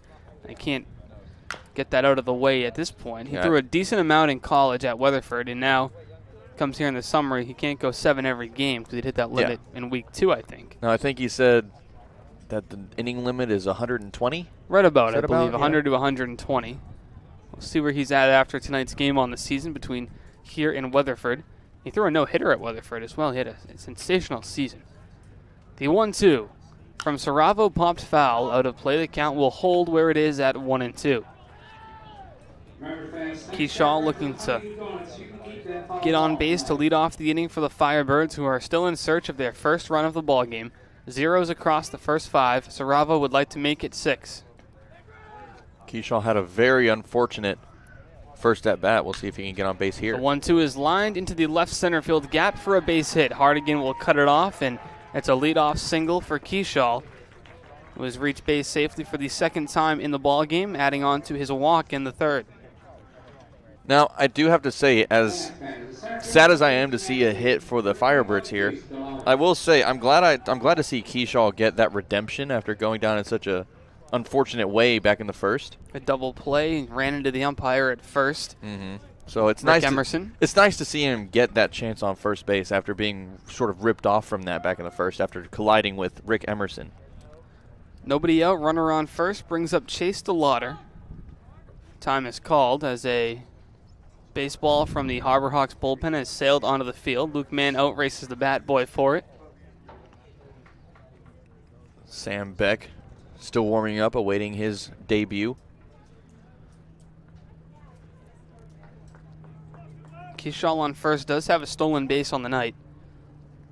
He's a danger to run over there. Saravo comes set. Long pause from the right-hander. Fires home, and that one is a called strike. It finds the outside corner. A long pause by Chase DeLauter as he didn't like that call.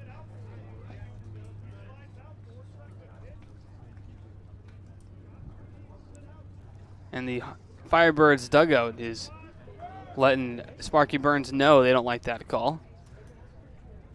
Saravo comes set once more. The 0 1 on its way. That one outside, 1 1 the count. I have to say, I feel like both teams are probably not very happy with the with some of the calls tonight, but like we've mentioned, it's it's a consistent zone. It's been both ways.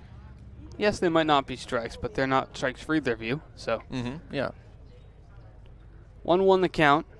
Saravo, long pause, fires. That one is lined softly to center field. Elliott's running after. It's going to drop for a base hit. Back-to-back singles for the Firebirds, who are looking to put something together here in the top of the sixth.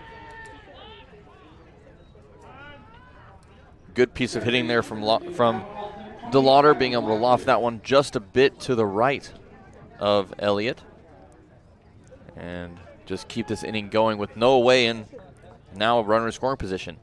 Double play is in order, and Saravo's had success against Locklear. He's got him to ground out twice, once to third, once to the pitcher. Saravo. Now the infield fly rule comes into effect with runners on first and second. All bags are hot on the on the force play.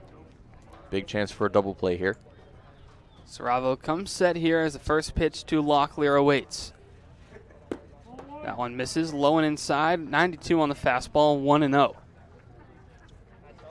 For just joining us, Austin DeCouta and Lincoln Revill here with you in the booth as the Harbor Hawks lead the Orleans Firebirds 4 to 0 here in the top of the sixth. There are runners on first and second for the visiting Firebirds with nobody out.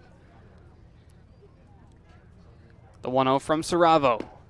Fastball finds the zone, 1 1 the count. Good job from Saravo. Still going strong, and he's able to paint that inside corner there for that first strike. Saravo, an avid Blue Jays fan from New Hampshire. Must be excited about their success this season as that one is flown to center field. Elliott's back on it. A few steps in front of the warning track, makes the catch. As Keaschall tags up going second and third, so they do get an out. A runner advances to double play still in order as DeLauter stays at first. Good first out there. You didn't want Keaschall to extend over to third, but that's kind of out of your control as that one was lofted a little too deep. But So still a good first out and a chance for a double play to end it. With one away, pitching coach Ray Korn will head to the mound to talk to Saravo for the second time tonight. We're not going to see a pitching change here. As for pitching changes, Gary Calhoun usually makes his way out to the mound. So I think this is going to be the one last time we see Korn come out to talk to Saravo before his night is done. Talk with Pendleton, the catcher, and Saravo, the pitcher, as they look to work their way out of this top of the six. Runners on the corners for Orleans. It could get dangerous. with One swing of the bat. Saravo does a good job at limiting the long ball. Harmon due up at the conclusion of the mound visit. Trey Harmon is one for two today with a single and a strikeout looking. Sparky Burns announcing that was the second conference. Thank you, Sparky. We'll mark that down.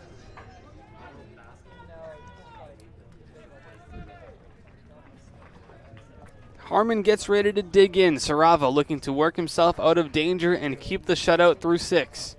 One away in the inning. The hits are even between these two teams at five. The runs are not as Hyannis leads at four to zero. First pitch from Saravo to Harmon. Called strike at the knees, 0 1. Now we, you mentioned earlier how dominant Saravo was at Weatherford College this past season. 15 games he played, he started, ended with an 8 3 record in 76 and two thirds innings. He struck out 103. The ball misses the bat when he's on the mound.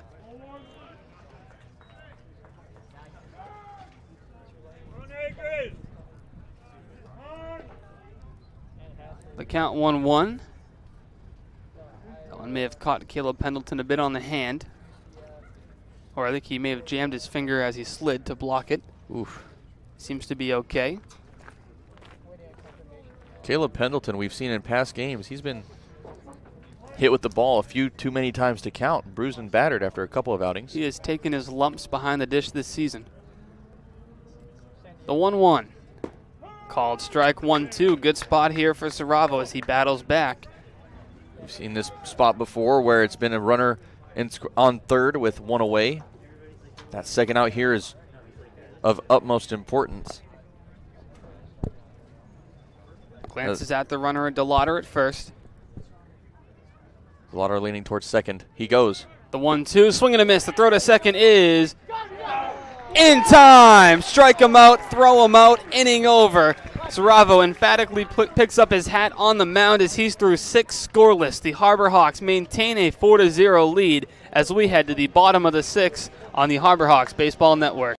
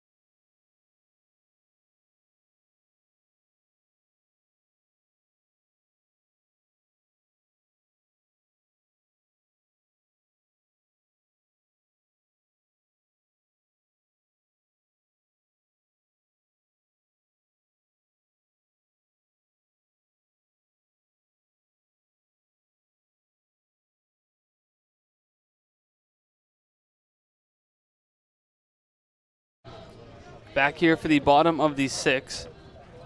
Dom Johnson, Mitch Hardigan, Caleb Pendleton do up for Hyannis.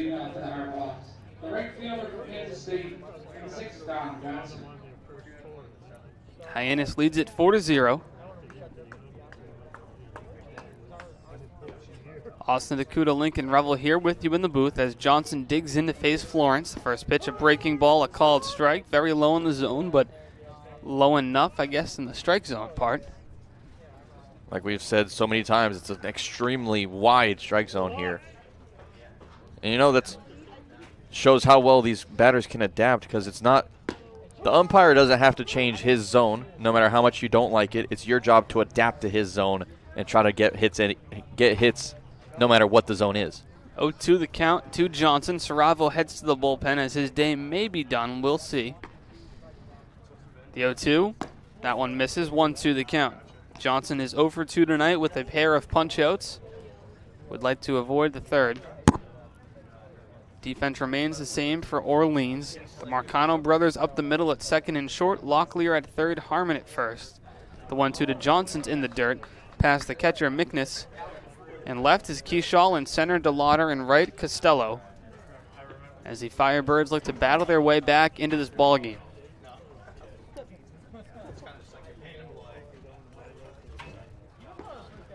Deep breath from Florence on the mound. He winds up and fires the 2 2 for a called strike three. Johnson knew it as he turns and walks back to the dugout. And there's one away. Good pitch from Florence there to start this inning off. And like you said, Johnson knew that, that pitch was in the, in the zone. He didn't hesitate, just turned and started his way back to the dugout. And there's one away now. That brings up Mitch Hardigan with one away. Hardigan 0 for 1 with a walk tonight. Called strike to Hardigan. He should not nods, nods his head rather in approval of the call. The 0 1. That misses 1 1 the count.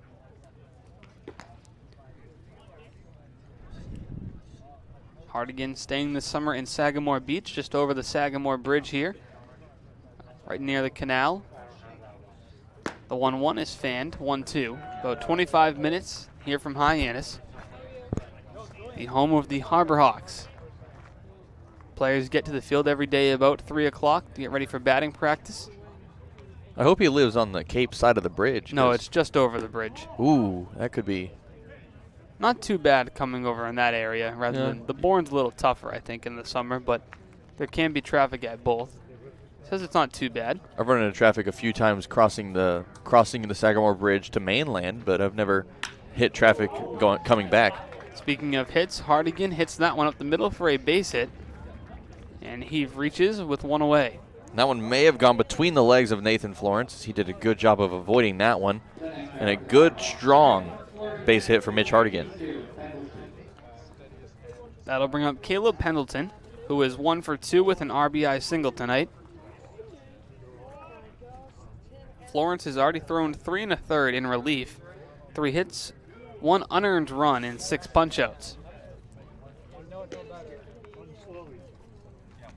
There is action in the Orleans bullpen. Another right hander begins to throw. And more action in the Harbor Hawks bullpen as they also have a right hander throwing. It looks like it's still Sam Beck. We will confirm. The 1 0 on its way to Caleb Pendleton. Big cut and a miss, 1 1 the count.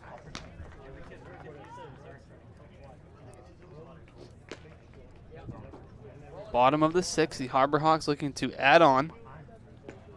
Person in the bullpen for the Firebirds is Jeffrey Prommel. The 1 1 Pendleton shows bunt, pulls back. It's a ball, 2 and 1. Third baseman Locklear playing very deep over there. Pendleton can drop one down the third base line. He might be looking at runners on first and second. 2 1 with one away. Soft grounder down the third baseline, but foul as the count evens up at 2 and 2. Yeah, I think it's safe to say that I don't think Pendleton's going to try to lay a bunt down with a two-strike count. I've seen it. I've seen it before, and I'm always confused as to why people would think to do that with two strikes. If it goes foul with two strikes on a bunt and you're out, considered a strikeout. It's just too big a risk to take, in my opinion. The 2 2 to Pendleton. Ground ball hard hit to third, backhanded. It takes a heck of a bounce off of Locklear. So Pendleton will reach base safely. We'll see if it's ruled a hit or an error.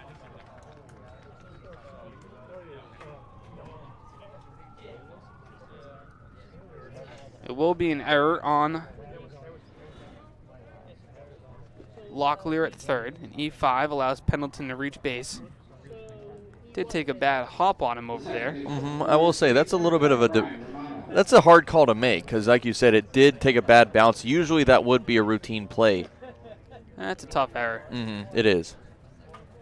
He did scorch that ball, and he played it right. You're going to backhand that. But it took a hop that avoided that from being a routine play. So I would think Yeah, yeah, yeah. Without the hop, it would have been a pretty routine play to make, because you just he just had to scoot over and backhand it. Right. But because of that bad hop, yeah, that turns out to be a pretty difficult play to make. That brings up Ryan Romano with still one away. Runners on first and second for Hyannis. The pitch on its way. Romano reaches and fouls that one off. 0 2 the count.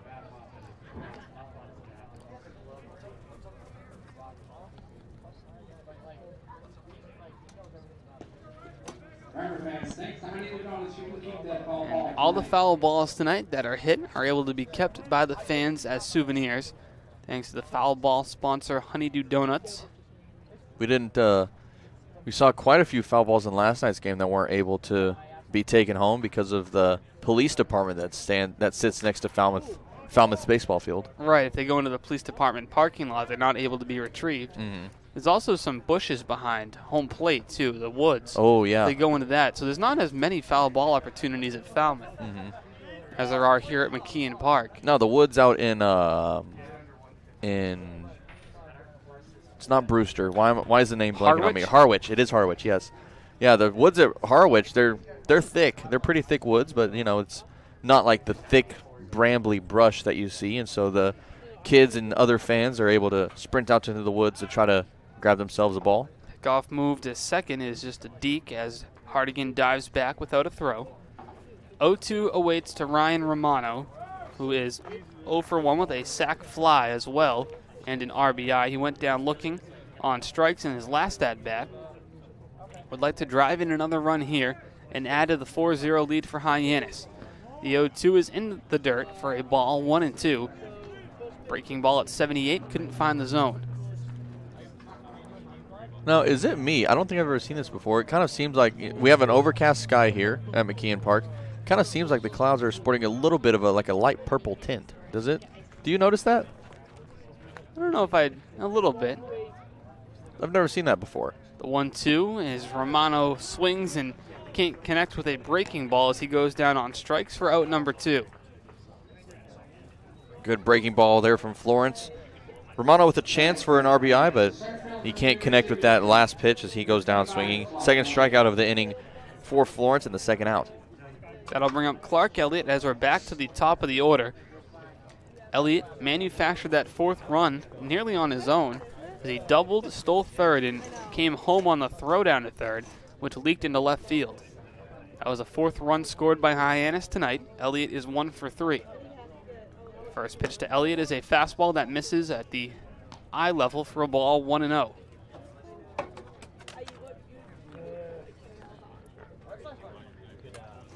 Yeah, Elliott out of the players that were brought in before just a few days to just a few days ago, now sporting one of the highest on base percentages in the fewest amount of games. Second on the team in OBP.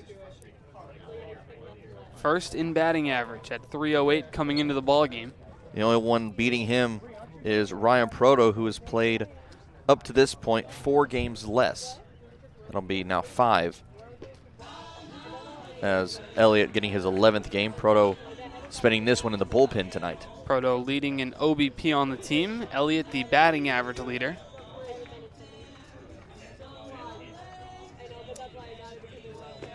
Mound visit here for the Firebirds as a dangerous spot 2 0 to Clark Elliott with runners on first and second.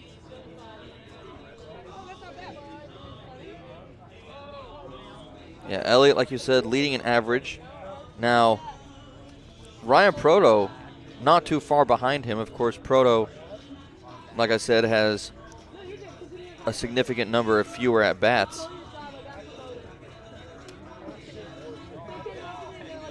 Elliott with 39 and Proto with only 17 at bats on the season.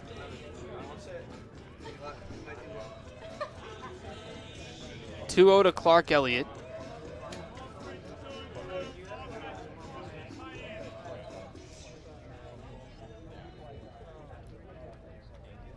You know, I have to say, we've we've talked a lot about Sparky Burns behind the plate and his involvement in tonight's game. I like how assertive he is almost. He he you know that he's the man in charge. He's letting you know everything that's happening. He's very vocal in every call that he makes. He's just been even though he has that wide zone, I think he's doing a good job tonight, really. He's been very been very consistent with his zone no matter how outside or inside we may think it is. Yeah, no question if one is a ball or a strike as he makes it known, and it's ball four. Elliott draws a four pitch walk, which loads the bases now for Kyle Ball. Ball on the day is 0 for 2 with a walk and a run scored. He's a patient hitter, makes a lot of contact, leads the team in walks. and doesn't strike out as much as some of his teammates. 14 walks on the year, now 15, including the one earlier tonight. Two outs in the inning, bases loaded. Pitch from Florence is a breaking ball that nearly hits Kyle Ball, and it's a ball 1 and 0. Continue with the with the wouldn't say those are ball puns. It just be- happens to have the yeah, same last fancy- name as the object. that's Fancy word this game. usage. Yeah. The 1 0 is outside, 2 0. If you're Kyle here in this account, maybe you're just kind of waiting. I mean, Oh, yeah. just walked Elliott on four pitches. He's thrown two straight to you. There's nowhere to put you. Anytime after a four pitch walk, you're I'd say you're at a hard red light until you see that first strike cross the plate. Florence comes set, take a deep breath, the 2 0. Finds the zone 2 and 1, and that's a little outside and high, but finds the corner.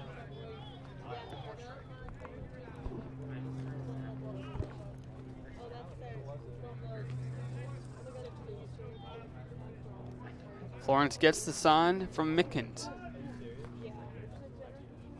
2 1. In the dirt, 3 and 1. McNiss has done a good job behind the plate tonight, keeping the ball in front of him. The bases loaded here. A pass ball could have been fatal. Now, if a pa- pass ball is almost likely ball four anyway, so a Mhm. run would come home. 3 1 the count to Kyle Ball. Nowhere to put him here with the bases loaded. The pitch on its way. Ball four. And Florence walks in a run as Hyannis adds another. Their lead grows to 5 to 0. Well, it's not the ideal way that you'd want to score a run, but hey, a run is a run is a run. And now the Harbor Hawks with make their lead a little bit more comfortable with a 5 0 lead. And that'll lead to a pitching change here at McKeon Park as Florence's day is done. Hyannis leads at 5 to 0 on the Harbor Hawks Baseball Network.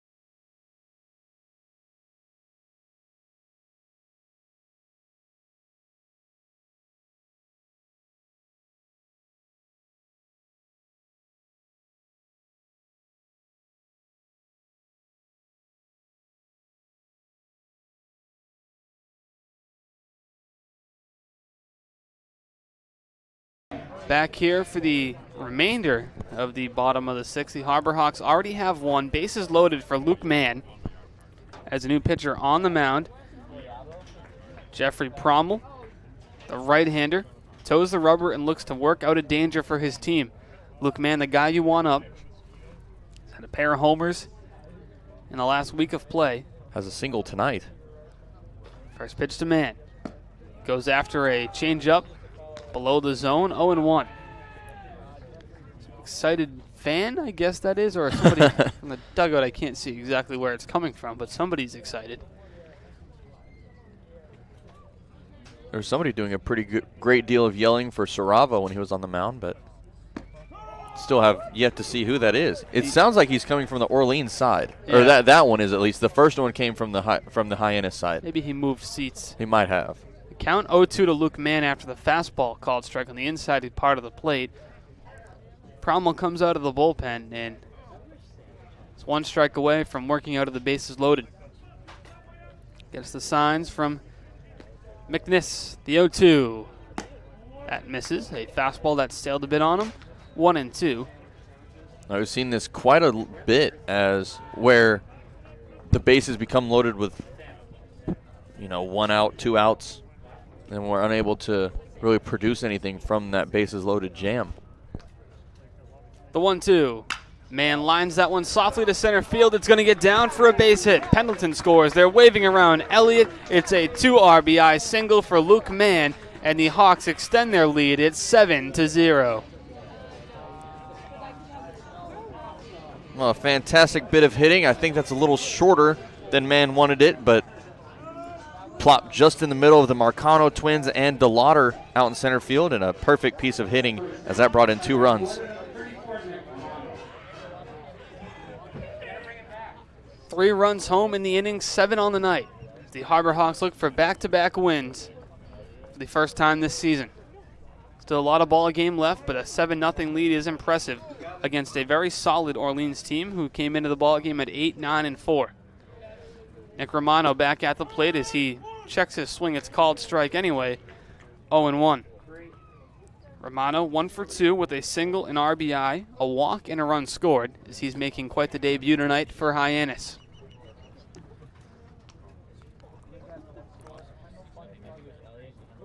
The 0 1. Ground ball to first. Picked up there by Harmon. He steps on the bag to end the inning. The Hawks strike for a three. The lead has swelled to 7 to 0 here from McKeon. Back for the seventh in just a moment.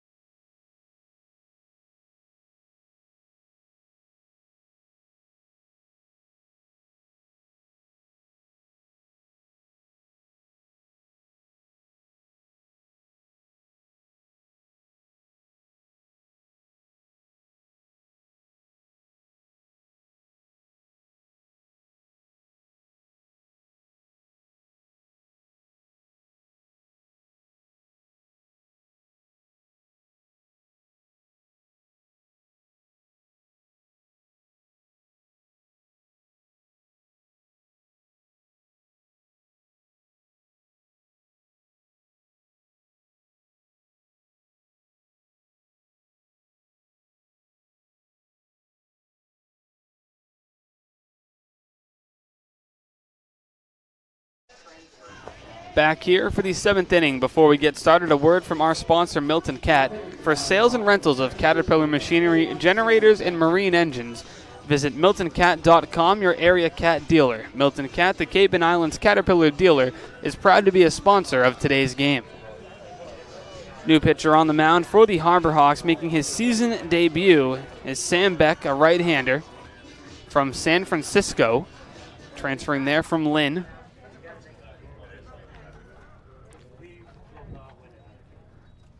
Beck will have to do battle with 6, 7, 8 for the Firebirds. Acton, Marcano, and McNiss. Harbor Hawks lead at 7 0. Austin DeCouta, Lincoln Revill here with you in the booth. Beck from Warren, New Jersey, spending his summer here with Hyannis. That one's lined to right field for a leadoff single for Acton, his second hit of the night. Good piece of hitting from Acton. He has a double and a single to his night now. And a good start here in the seventh for the Firebirds.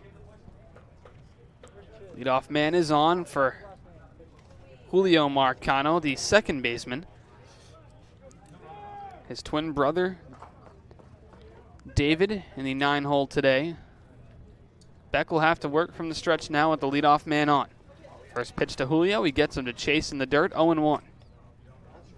Now Samuel Beck from San Francisco, San Francisco, coming there from Lynn, as Austin mentioned earlier. He had eight appearances for the Fighting Knights this past season. Three saves in 19.2 innings pitched, a 4.12 ERA overall, and had 17 strikeouts. And a strike is called as that one gets away from Pendleton, so advancing is Acton to second.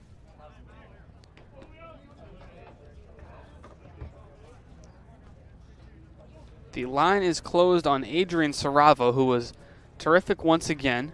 Six innings pitched, five hits, no runs, two walks, and three punchouts. As Saravo has been sensational, just one run across his last 11 innings.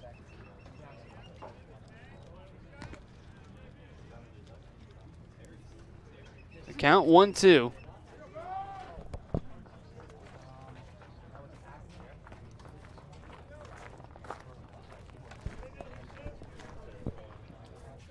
Beck will step off and look the runner Acton back to second.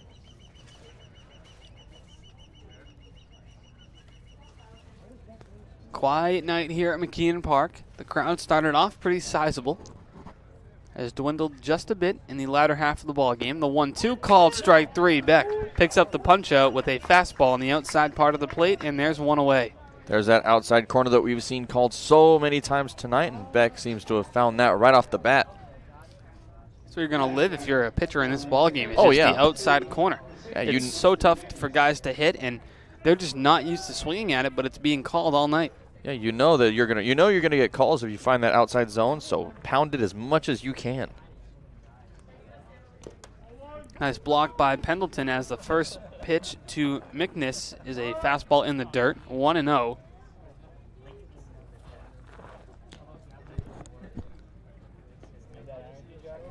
McNiss on the night, 0 for 2, a ground out and a pop up on the line for the catcher. Mentioned Lincoln how earlier in the game how Adrian Saravo's favorite team is the Toronto Blue Jays. They are behind the Boston Red Sox currently 11 to 0. Yikes. And the Red Sox also have the bases loaded and it's still the top of the second inning. Oh man. The top of the second? Top of the second. Holy. Bases loaded. They have a home run from Kike Hernandez. Jarren Duran, a former Cape Leaguer, with a two-run blast for the Red Sox. Rafi Devers has hit a home run. Hunter Renfroe has a grand slam. So the Red Sox are Oh. off to a great start tonight. Holy cannoli. Jarren. Duran making his debut with Boston, as mentioned, the former Cape Cod baseball player. So many guys now just making their debuts this season that everywhere you look, it's a Cape Leaguer doing something great. Pete Alonso, former Bourne Braves player, won the home run derby. Sean Manaea, a former Harbor Hawk, was the AL pitcher of the month a month ago. An all star. The Harbor Hawks had seven players drafted in the 2021 draft, five players from the 2019 team drafted, and one signed, so a total of 13 Harbor Hawks are now on MLB teams, or organizations, I guess, in the minors. As that one missed, it's a walk to Mickens, which puts runners on first and second with one away. Runners on first and second with one away, testing out. We're going to see just how good Beck is with some pressure on his arm here. David Marcano at the plate. Chance for a double play as the infield flies in effect. All bags are hot. Harbor Hawks have turned the double play tonight. It was a 6-4-2-3 double play. First pitch called strike to David Marcano.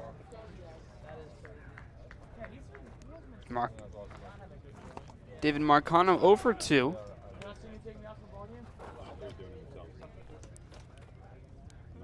Beck comes set in his Cape League debut, the 0 1. That misses 1 and 1 the count to the righty. I would do it myself. Sam Beck, when he's not playing baseball, his hobbies are golfing and fishing. Yeah. Lots of golfers that we've seen.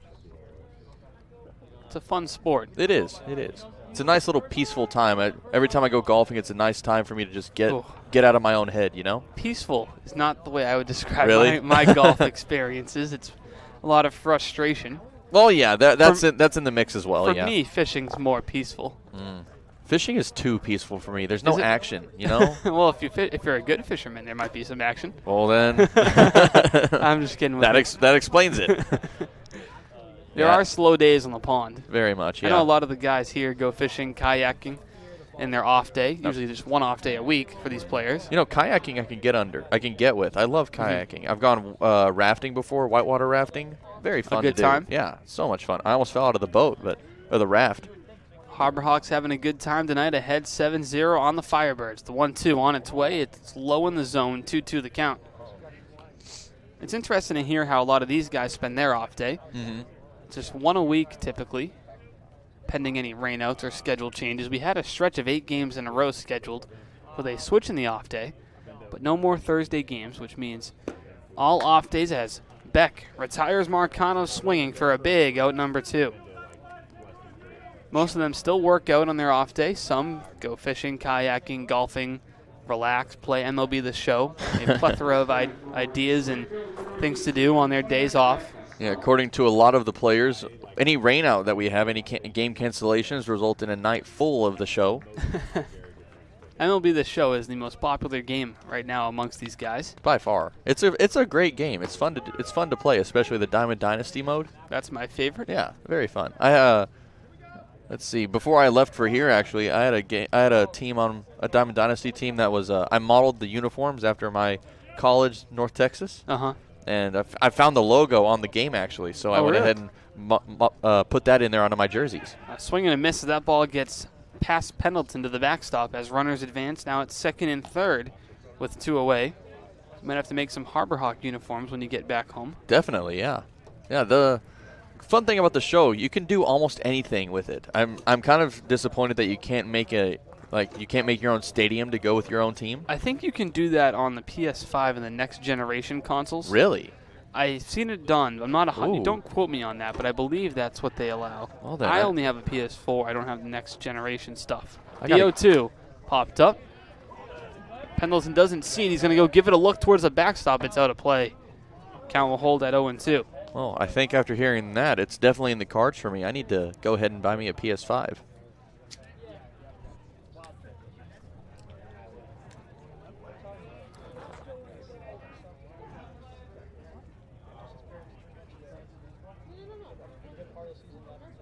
The count is 0 and 2 with two away to Jeff Costello. The 0 2. Cut on and miss. Beck works his way out of danger. And the side is retired. Still zeros on the board for Orleans. We head to the bottom of the seventh. Back in a moment on the Harbor Hawks Baseball Network.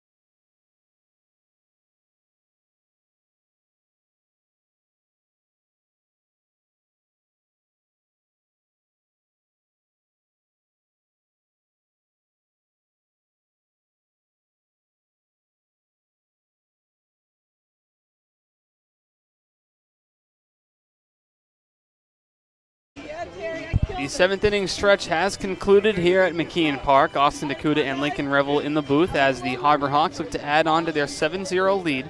Orleans has put the ball in play a great deal tonight, Lincoln. With six hits, they're just trailing the Harbor Hawks in hits by one. They've made some, some, some sensational plays defensively, but unfortunately, the run's the difference in this ball game. Yeah, with all of the hits that the Firebirds have been putting in tonight's game, it's pretty impressive to see still that zero underneath the error column for the Harbor Hawks so far tonight. Lots of great putouts from that defense.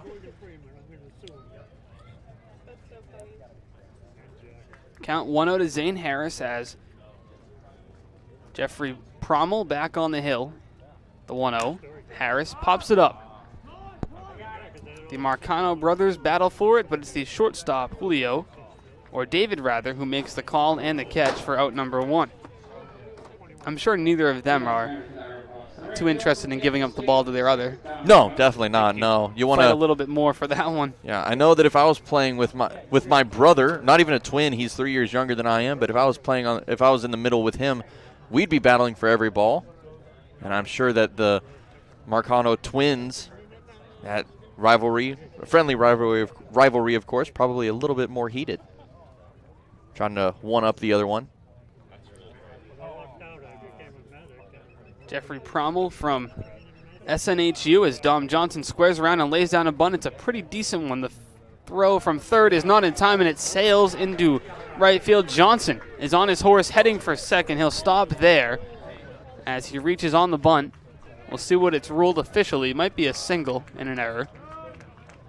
A single for Johnson on the bunt. It was a good one in between the pitcher and third, but he advances on the throwing error from Locklear, who sailed it over first. So runner in scoring position for Hyannis.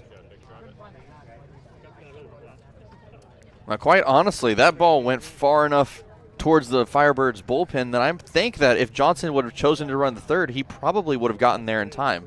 He stopped up at second base, and then a couple seconds after he stopped, then the ball came in to the infield. So I think he could have been at third safely.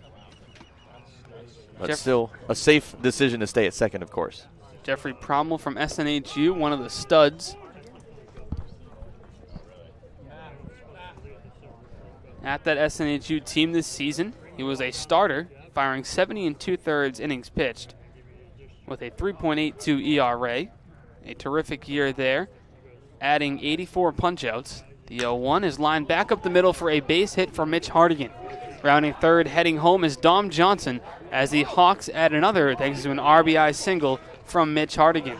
Well, Mitch Hardigan's bat has come on fire tonight. He's reached base three times on a walk and a pair of singles, now an RBI single. And he's having a really, really great night tonight. Hardigan has woken up his bat a bit. He's had a couple of doubles this year, but now putting the ball in play.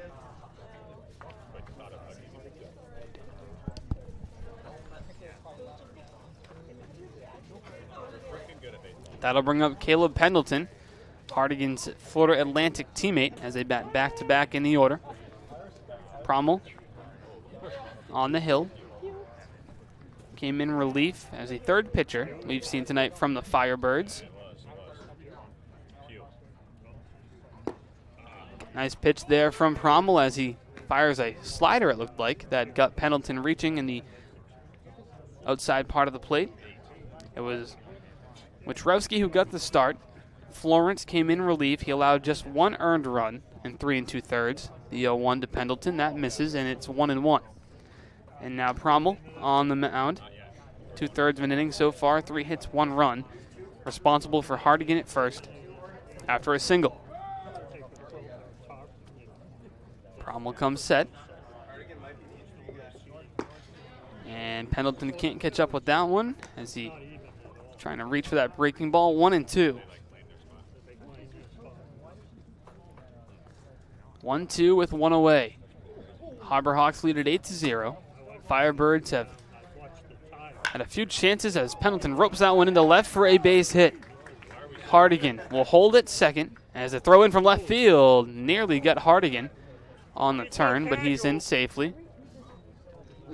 That was a scary play there at second base. Hardigan almost coming a little too far off of second, but he was able to get his foot in there just in time. And now another runner in scoring position for Ryan Romano. Second hit of the night for Pendleton, who stands at first. Ryan Romano digs in. He's 0 for 2 with a pair of punchouts, but he does have a sac fly RBI. That came all the way back in the bottom of the second inning. Harbor Hawks scored two in the bottom of the second, one in the bottom of the third, one in the bottom of the fourth. As Romano grounds that one hard to third. Step on the bag for one throw across the diamond is not in time as it can't be dug out. But they do get the lead base runner at third. Good effort from Locklear. That was almost a good double play there from Locklear at third. He threw it after stepping on third base, throw while off balance to Harmon, and Harmon almost with a good dig at first base, but just couldn't get with it as that ended up going in and out of his glove. That'll bring up the top of the order in the form of Clark Elliott. Elliott's one for three with a double. He's also reached base on a walk. He scored two runs and stole a base. Doing his job in the leadoff spot, would like to get on one more time and extend the lead a bit. Prommel looks at the runner at second in Pendleton. First pitch to Elliott is a ball 1 0. About two and a half hours into this ball game, Hyannis with eight runs, 10 hits, no errors. Orleans, no runs, six hits, three errors. One of the best all around ball games for the Harbor Hawks this season. As that one's grounded back up the middle, a base hit for Elliott. They're going to wave home Pendleton. The throw from center field is offline, and it's an RBI single for Clark Elliott as the Hawks add another. It's 9 to 0. Well, all right. I have to say, I am not disappointed in this inning at all. A couple more runs hacked on here and there, and an even more, uh, I have to say, I dare say, a comfortable lead with a 9 nothing lead here against the Firebirds. The Firebirds are a good offense. the Firebirds with six hits in the ball game. See if they can put up a late rally as Kyle Ball is back at the plate. Two away. Ball grounds it. In between third and short, it's a base hit. They're going to wave home Romano, who goes around the third base coach, Travis Poole. And it's an RBI single for Kyle Ball. It's 10 to 0. Did you see Romano, Lincoln, on that rounding of third? He had to go all the way around his third base coach. He was waving him home. Well, I guess that's what I guess if you don't if you just have that much speed as Romano does, you just got to do what you can. As long as he didn't collide with him, I think we're good, and he didn't, as he was able to come home. And now an even further lead for the Harbor Hawks, and we've been. They're just finding the areas of the Firebirds defense where there's no defender. Mhm. Ball in between short and third, one up the middle. Had a few ripped up the middle. And now a hot hitter, Luke Mann at the plate. Mann on the ball game is two for four, two singles and two RBI. Three home in the inning for the Harbor Hawks, who lead it 10 to 0, their biggest lead at any point this season. The first pitch to Luke Mann. Big cut, and he can't connect. 0 1. Prommel has done his job throwing strikes out of the bullpen. Harbor Hawks have put it in play. Was a error in the inning, which allowed Dom Johnson to go to second on a bunt single.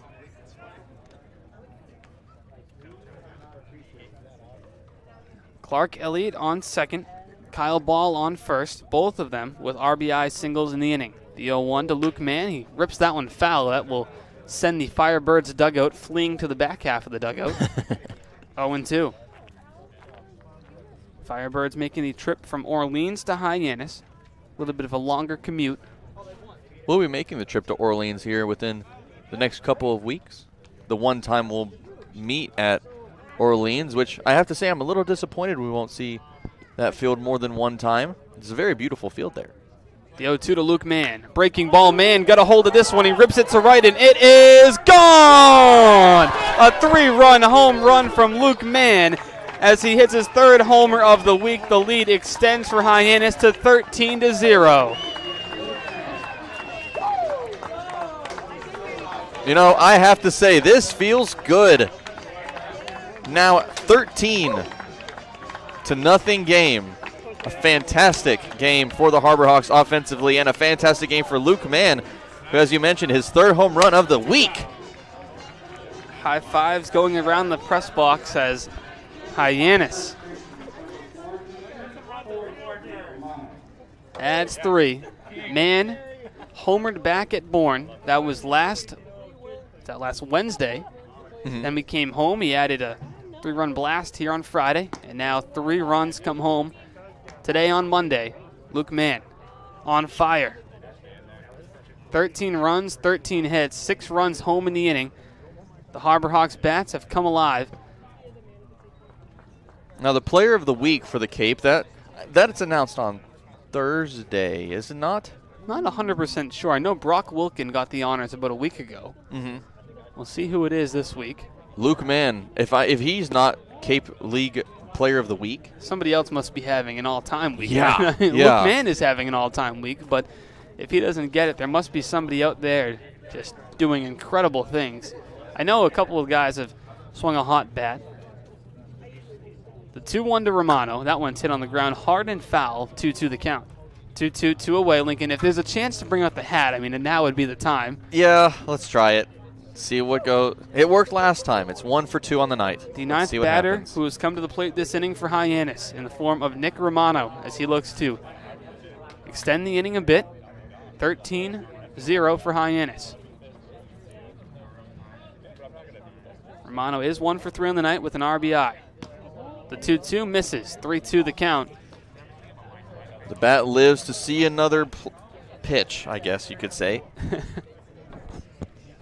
or the hat, that is. 3 2, 2 away. Prommel comes set. Gets the signs from Mickness. And cut on and miss. The inning is over. Romano goes down swinging. The Harbor Hawks send nine batters to the plate and score six. A couple of RBI singles and a three-run blast by Luke Mann has extended the lead to 13 to 0 here on the Harbor Hawks Baseball Network.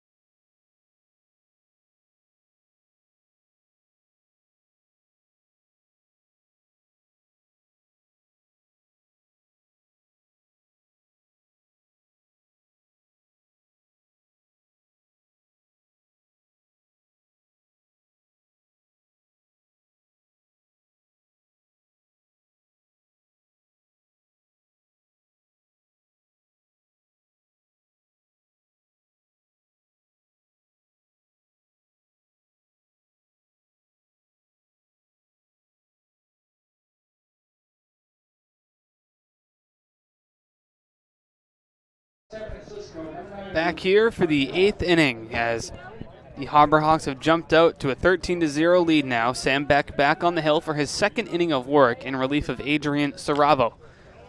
Austin DeCouta Lincoln Revill here with you in the booth as the Harbor Hawks to put together a little two game winning streak. First time this season they would win back to back games if they can hold off the Firebirds here. Now, do you, I dare say, judging by this game and last night's game, I'd say we have a little saying: the Hawks are hot. The Hawks may be hot once more. The count is 1 1 to Luke Keaschall from San Francisco. So he'll do battle with his future teammate in Sam Beck.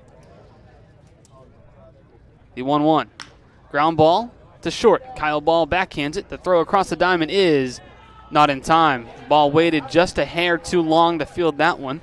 And it's an infield single for Keaschall as the Firebirds have their leadoff man aboard here in the eighth. Yeah, ball started to come up on that one. He just stopped a little bit too early. I understand why he stopped. That ball was a bounder, and so he didn't want to end up taking on a trying to take it on a short hop and end up it with it going out of his glove.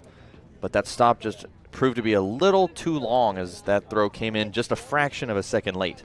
Here comes the junior from James Madison, Chase DeLauter. DeLauter on the night one for two with a single and a walk.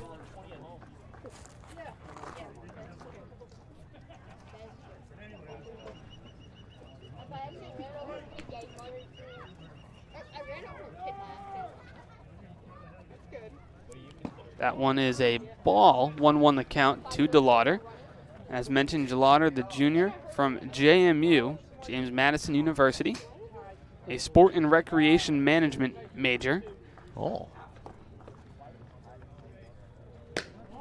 That one misses. 2 1 the count. DeLauter, a four year letter winner in high school, named West Virginia and EPAC Player of the Year in 2018.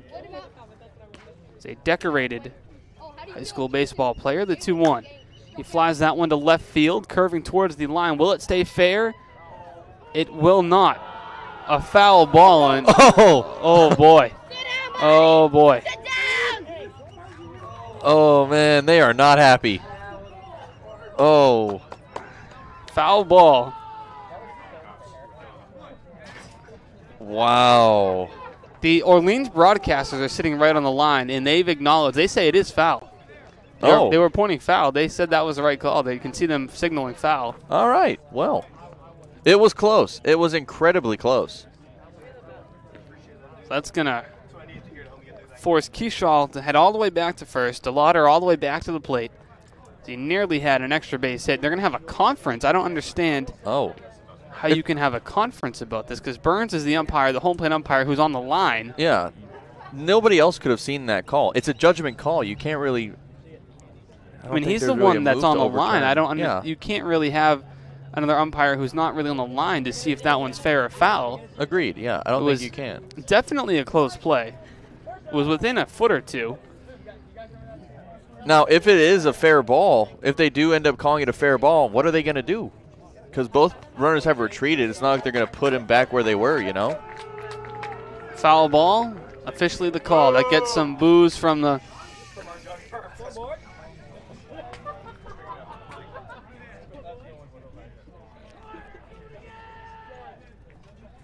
Two two the count.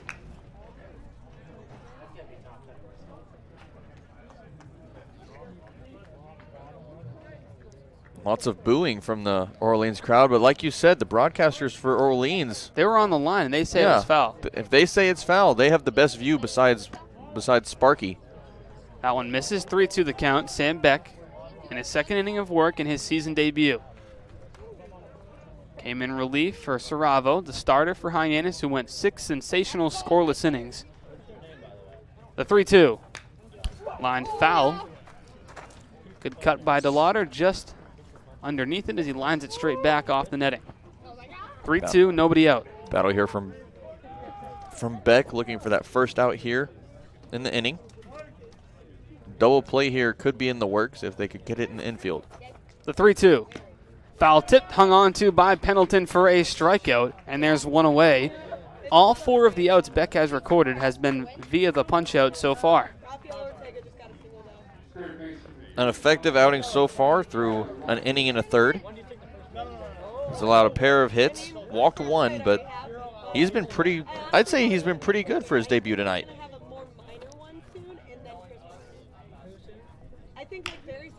Ground ball to third. Throw on to second for one, on to first, and it is a double play. The inning is over. Hyannis turns a double play to retire the Firebirds we head to the bottom of the eighth. Hyannis with a commanding 13 0 lead.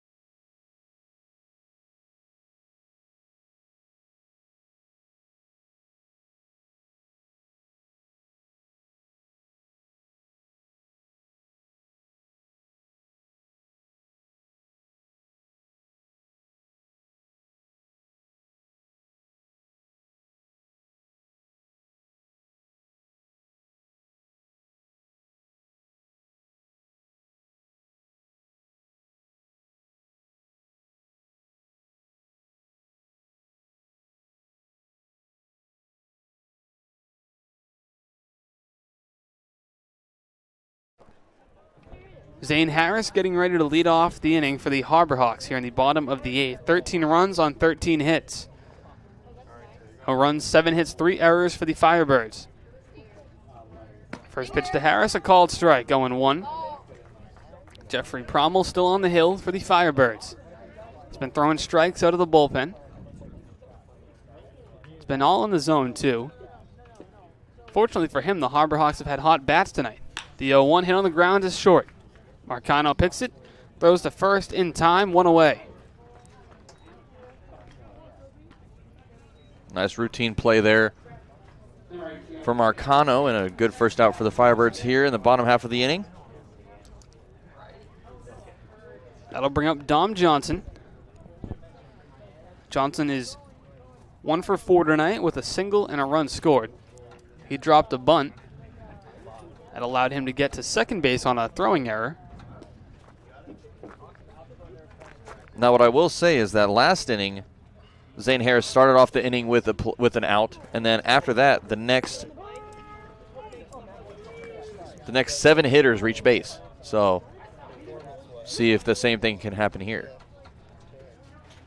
The official attendance tonight at McKeon Park comes in at 1,146. A little bit of a quieter night at the ballpark. Yeah. As Hyannis atop the Cape League with attendance. They're actually they're I think they're second right behind Chatham, Mhm. but Chat- in the top two. Chatham is no surprise that they have the most attendance. There, we went we went to Veterans Field one time this season, and it was packed, packed house. 0-2 to Johnson. One away in the inning. Pitch from Prommel. Ground ball hard hit to first. Nice pick over there at first by Harmon. He steps in the bag himself. There's two away. Like you said, a good pick over there from Harmon. I'd say there might have been a little bit of luck within that catch as he, he went up to try to catch it on the hop and his head went up, so he didn't see it go into his glove, but he still was able to come up with it and make that out. Although they have three errors, their defense has been tested often tonight. Mm-hmm. Lots of balls put in play. The Marcano twins up the middle have been great. As Hardigan can't connect 0 1. Mitch Hardigan having himself a good ball game tonight, two for three. Also has a walk, an RBI, and a run scored. The 0 1.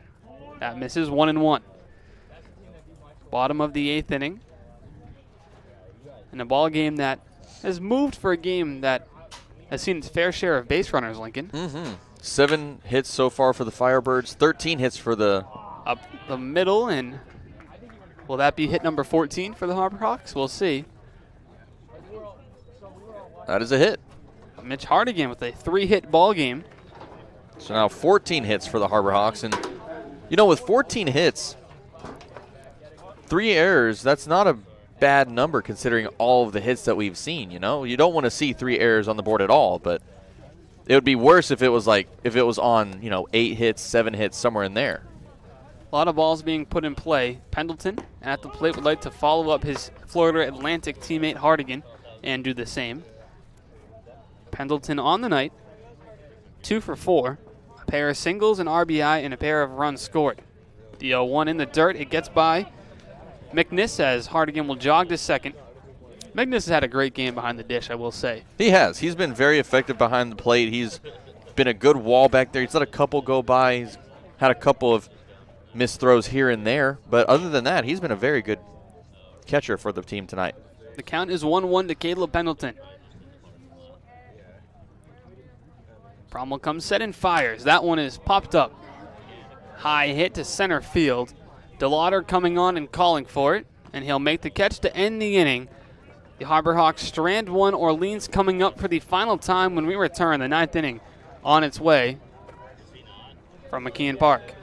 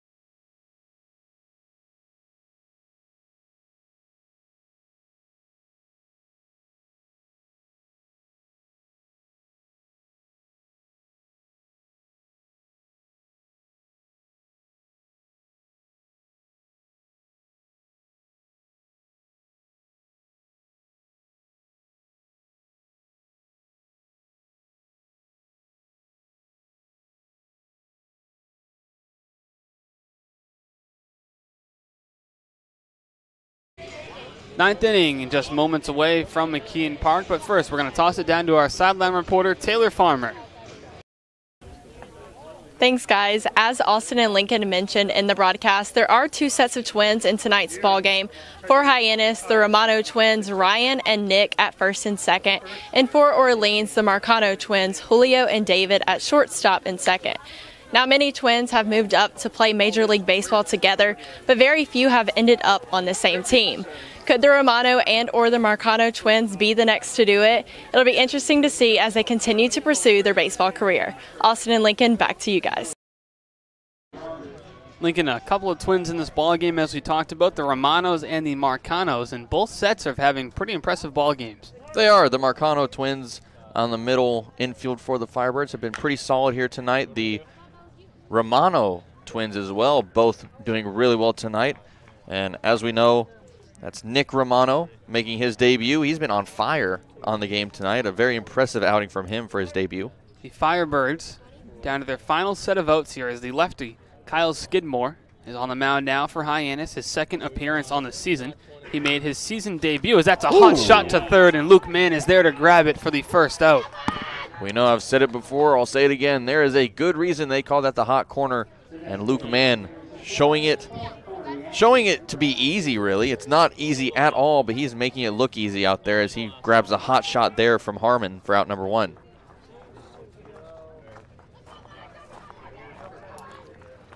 One away brings up Acton, and that one is cut on and missed. Nice pitch there from Skidmore. Corey Acton, the DH.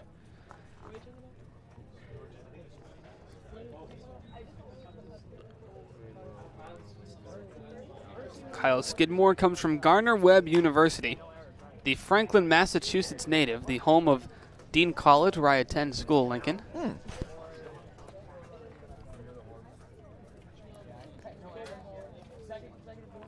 Skidmore was added to the roster last week.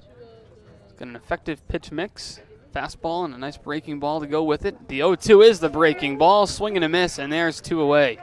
They'll throw to first just to be sure. And the Harbor Hawks one out of way from shutting out the Orleans Firebirds and picking up an impressive win. A beautiful, beautiful breaking ball there. And Skidmore, in his second appearance, has been doing really well here in the ninth. His, of course, his first game coming against the Bourne Braves in that 8-7 walk-off loss. Now Skidmore in his season at Gardner Webb, 21 appearances with a 5-1 record. 4.11 ERA. He had 32 Ks, only four walks in 30 innings pitched, 30 and two thirds.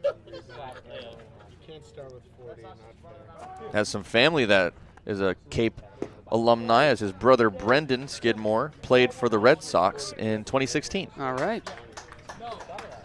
The Harbor Hawks one uh, one strike away now from picking up a big win.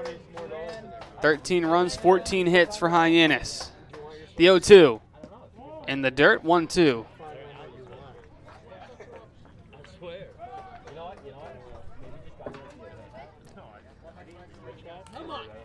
Kyle Skidmore looking to shut the door here in the ninth.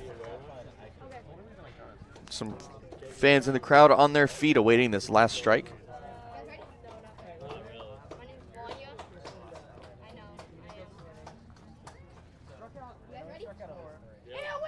The 1 2 in the dirt.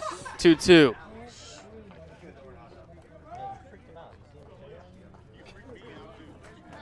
Two two two away. Julio Marcano looking to extend the ball game for his Firebirds. Skidmore with the 2 2. Ground ball to third. Luke Mann has it just go under the glove as Marcano will reach base and extend the ball game. An unlucky bounce. Mann thought that was going to bounce up, and he tried to anticipate it, but instead it landed in the dirt and just went dead and took a little roll right underneath his glove.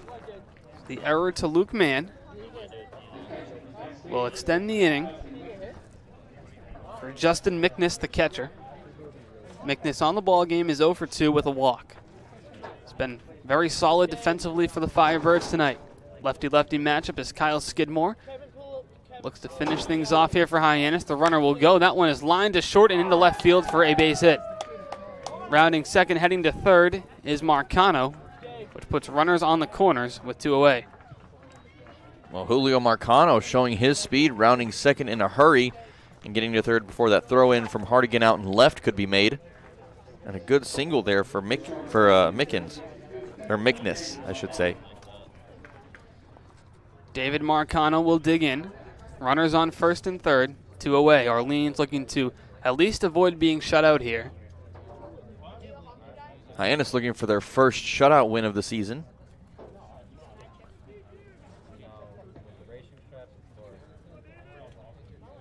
First pitch, runner goes from first. It's popped up.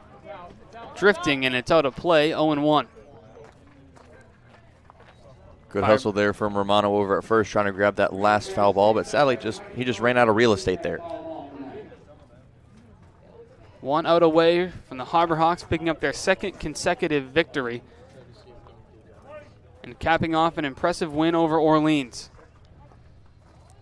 The 0 1 to Marcano is cut on and missed. Foul tipped, hung on to by Pendleton as the runner advances to second base. Runners on second and third for Orleans.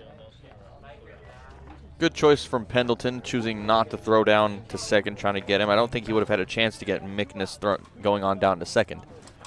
The 0 2 from Skidmore. Ground ball to short. Kyle Ball knocks it down. The runner's going to reach base safely, and a run's going to come across. Tough break here for Kyle Skidmore. Not an earned run due to the error by Luke Mann. And I think that one may be ruled an error as well. An error on Kyle Ball. Hyannis having a little bit of trouble finding the final out here in the ballgame.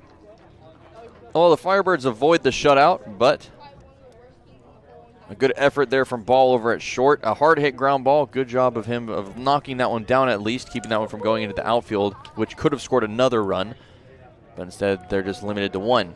Runner goes again as Costello swings at the first pitch and launches it to left field. Hardigan is running after it and it drops foul. No doubt about that one being foul. Uh huh. That was a good, good yard or two foul. Hardigan was a, almost able to get to it for that third out, but Orleans is making this last out a little bit difficult to get.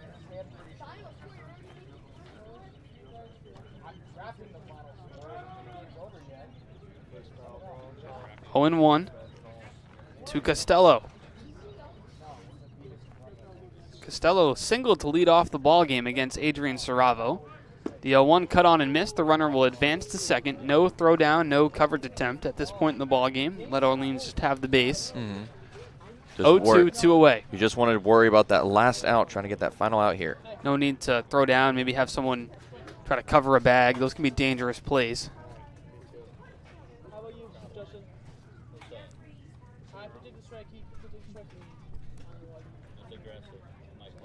The 0 2 popped foul. Out of play.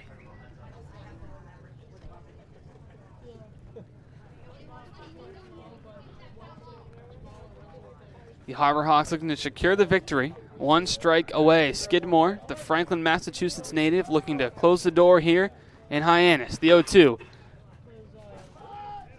It is a foul ball. Some soft contact by Costello extends the ball game.